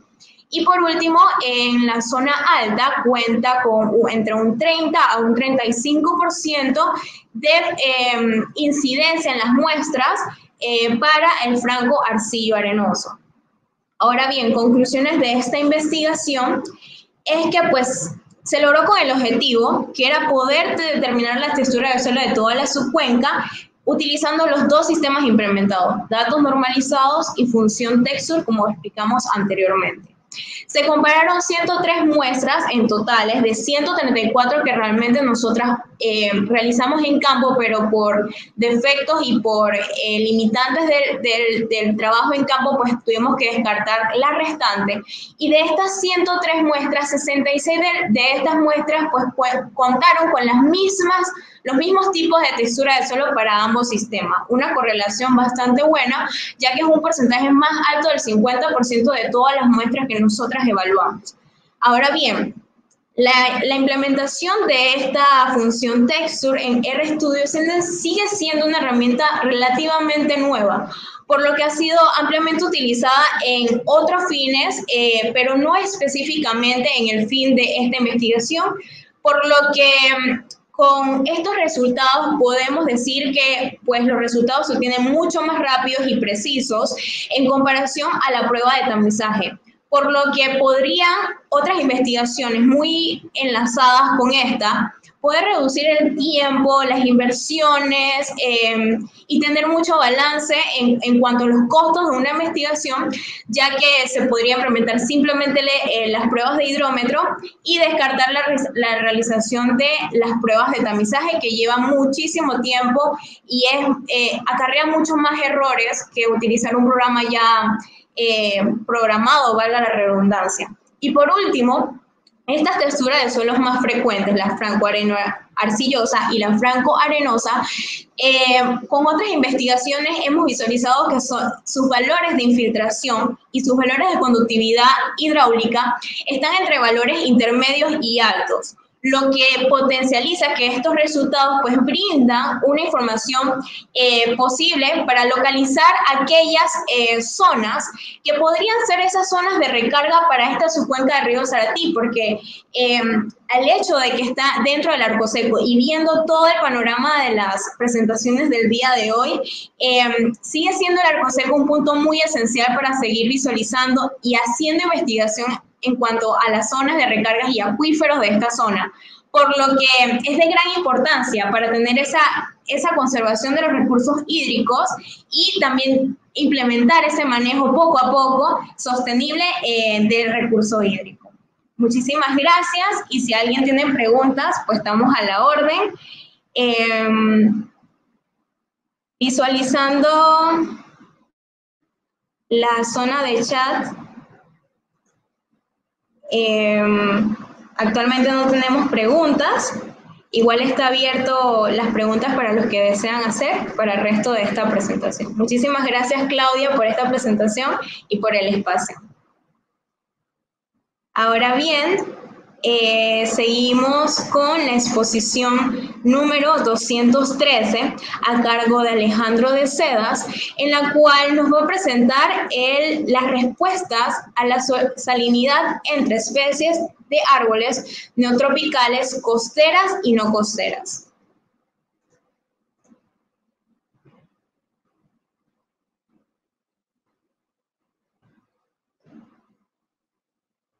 Por favor, Alejandro, encender la cámara para poder visualizarte en la sala.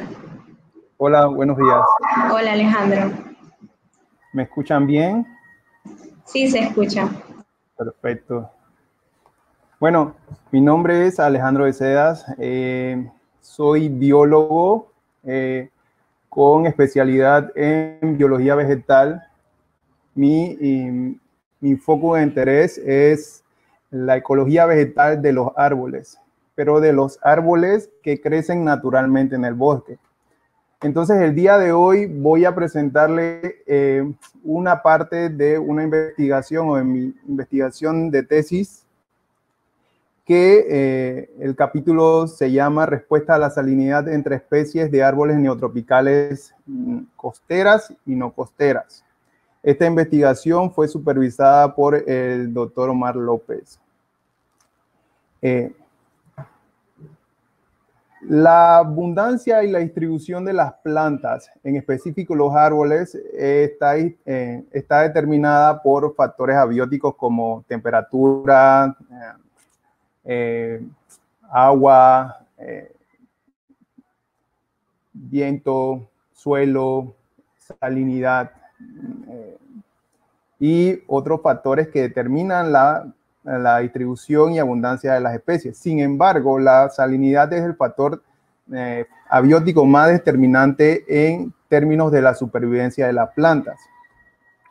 Y este, este, este, este factor puede ser mucho más determinante en vista de los, los pronósticos que se tienen del cambio climático y el aumento del nivel del mar a cuestión de, de, mostrarles cuál sería una predicción, esta es una predicción de lo que podría ser los efectos del aumento del nivel del mar en Panamá. Y vemos como las zonas costeras, la mayoría de las zonas costeras del norte y del sur o del Pacífico y Atlántico de Panamá van a ser eh, grandemente impactadas por el aumento del nivel del mar. ¿Y qué encontramos en, en, estas zonas? Por lo general, en estas zonas encontramos áreas de cultivos, áreas donde, donde de que depende la sostenibilidad alimenticia, ciudades y áreas de bosques, áreas de bosque primario de, eh, de, del área de Bocas del Toro, San Blas, Colón y Bocas del Toro. Entonces, pero, ¿qué, qué, qué, en qué afecta la salinidad a las plantas? A nivel, a, a, a nivel celular, las plantas cuando se, son afectadas por la, por la salinidad, lo primero que se le afecta es el, el, el, el balance osmótico. La planta empieza a perder, eh, perder agua y hay un desfase en, la, en, la, en el transporte de iones y en la estabilidad celular. Y eso nosotros lo podemos ver a simple vista en que la planta comienza a marchitarse, a que deja de, de, de fotosintetizar, deja de, deja de crecer, eh, el crecimiento, la, la, productividad, la, la, producción de flores, frutos y hojas nuevas se ve, se ve afectada e inclusive la viabilidad de las semillas que pueda producir las plantas eh, decrece. Entonces, en base a esta investigación se desarrolló un, un, un, capítulo de, mi tesis que era comprender la respuesta a la salinidad en especies de árboles neotropicales. Y en específico, esta investigación se enfoca en el nivel celular, como la respuesta de la salinidad a las plantas va, va, se, se, puede medir en términos de acumulación de iones dentro de los tejidos, en específico de las hojas. Entonces, esta, bueno, debo, debo decirle que esta es la segunda parte de una investigación que se hizo con un grupo de especies de árboles y se colectó en general un grupo de especies y eh, tuvimos y creamos una lista jerárquica en términos de salinidad. En base a esa lista jerárquica, seleccionamos cuatro especies que son costeras y que presentan un, un cierto grado de tolerancia a la salinidad y escogimos cuatro grupos, cuatro especies que son de, de, bosque y que son en nuestros resultados intolerantes a la salinidad o que la tolerancia a la salinidad es, es muy baja. Entonces, ¿qué hicimos con estas especies? Aquí tenemos las especies de costa, que son las especies terminal, eh, Esterculia pétala, el árbol Panamá, Pitecelobium ungicali, Terminalia catapa, que es el almendro, eh, Ita pulpunia. Todas estas especies las podemos encontrar fácilmente en las costas y las especies no costeras serían Minquardia yanensia, Peiba membranacia, Ocoma piramidal y Hermosia macrocalis, especies que encontramos en bosques, eh, en, en, bosques eh, siempre verdes o semicaducifolios. Entonces, hicimos una serie de experimentos con concentraciones de, eh, de cloruro de sodio y cloruro de potasio. Pero ¿qué hicimos? El diseño experimental se basa en germinar las semillas en potes y eh, una vez que las semillas se germinaban, seleccionamos las plántulas por tamaño y, y, el número de hojas. O sea que todas las plantas tenían, o, el grupo de plantas de cada especie tenían el mismo, el mismo número de hojas y especies.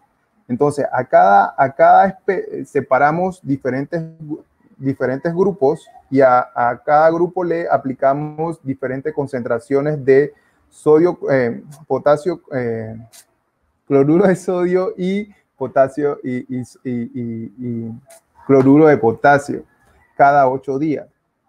Y entonces hicimos comparaciones en cómo se comportaban las especies que se irrigaban con cloruro de sodio y con cloruro de potasio. Además, tuvimos un grupo de plantas que es de plantas control. Mil disculpas por ese sonido. ¿Me pueden escuchar? Sí, se puede escuchar igual, pero está el sonido. Okay. Es mi, es mi carro que no. está celoso porque estoy dando una presentación. No, sé.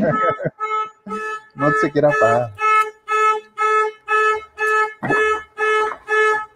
Bueno, cada, cada ocho días realizamos censos de, eh, de, de crecimiento. Entonces medíamos la altura del tallo, la producción de hojas y, em, y medíamos, eh, creo que producción de hojas y, eh, sí, crecimiento del tallo. Adicionalmente, se realizaron, bueno, y, y después de 60 días se hicieron colectas, eh, se hicieron colectas de tallo, hoja y raíces, se pesó y se calculó el, el, la, la, la masa total seca, ¿no? Entonces, con, la, con el material de las hojas. Para cada tratamiento se seleccionaron un grupo de, de, de, de muestras y se hicieron un análisis, se hicieron análisis de eh, ICP-OS. Esa nos va a permitir saber la cantidad de elementos que acumuló la, la, la, las hojas en su interior. Y nosotros estábamos enfocados en saber la cantidad de sodio y la cantidad de potasio y la cantidad de cloro la, la medimos por, eh, por, por, por, un sal analyzer que es el, el Tritrator. Entonces, con eso complementamos la información de eh, la acumulación de iones dentro de las, eh, de las hojas. Entonces, aquí le presento un cuadro que va, va, va, a representar los tratamientos que nosotros aplicamos. Tenemos tratamientos control, que es cero. Tenemos tratamientos de 80 milimolar, ya sea de sodio, de, de, de cloruro de sodio cloruro de potasio, y cuánto es su equivalencia en el agua de mar y con respecto a la cantidad de, de, de iones que encontramos de esos eh, compuestos dentro del, eh, del, agua de mar. Entonces tenemos concentraciones hasta de 600 que más o menos nos representan el 100% de la concentración del, eh, de, de, del, del agua del mar. Al final de cuentas, toda esta información nos produjo estos resultados. Aquí tenemos los parámetros de crecimiento. Tenemos parámetros de crecimiento como eh, el área foliar, el, el, el, el, el radio de, eh, de peso foliar, eh, la altura del tallo y la cantidad total de, de, de, masa seca. ¿Y qué tenemos? Que las especies de, de, de las especies no costeras, y tenemos especies no costeras y costeras para sodio, eh, para cloruro de sodio y cloruro de potasio, observamos que las especies de, eh, de costas, primero, en general no hay diferencias significativas entre eh, eh, los tratamientos de, eh, cloruro de sodio y cloruro de potasio. El comportamiento para todas las especies en los distintos tratamientos es muy similar. Entonces, las especies de costa no tienen diferencias significativas entre las control y las que fueron tratadas a grandes concentraciones.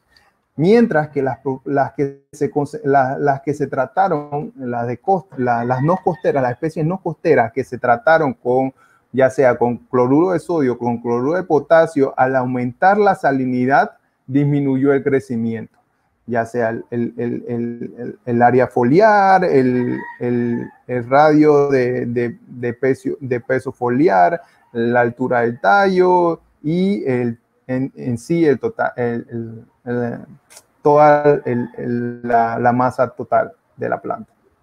Entonces, con esa información nos permitió crear la tasa de crecimiento relativo. ¿Y qué tenemos? Tenemos valores similares a lo que obtuvimos anteriormente. Tenemos que las especies de costa, acá, especies de costa, ya sea en, cloruro de potasio o en, clor, en cloruro de sodio, en cloruro de potasio, no presentan diferencias significativas a, eh, entre las plantas tratadas con eh, salinidad y las de control. Sin embargo, las especies no costeras que fueron tratadas con cloruro de sodio y con cloruro de potasio, a medida que aumentó la salinidad, disminuyeron su tasa de crecimiento relativo.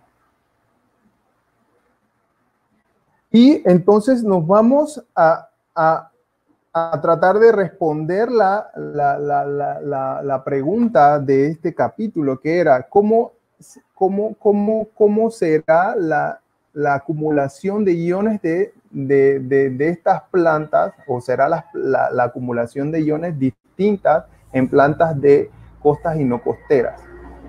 ¿Qué tenemos?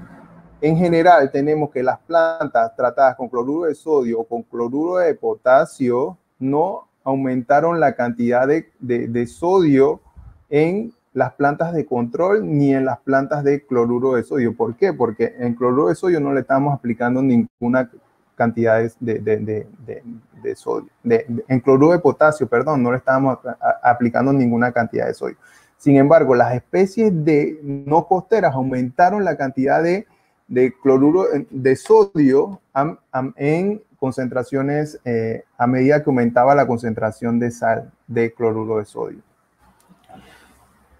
Algo, algo similar esperábamos en mm, las concentraciones de cloruro de sodio, sin embargo, el sodio fue bien aceptado por las, mm, por las por todas las plantas, inclusive aquellas que se, se les trató con grandes concentraciones. Sin embargo, tenemos que remontarnos a los, a los resultados anteriores y las plantas que fueron tratadas con altas concentraciones de cloruro de potasio se murieron.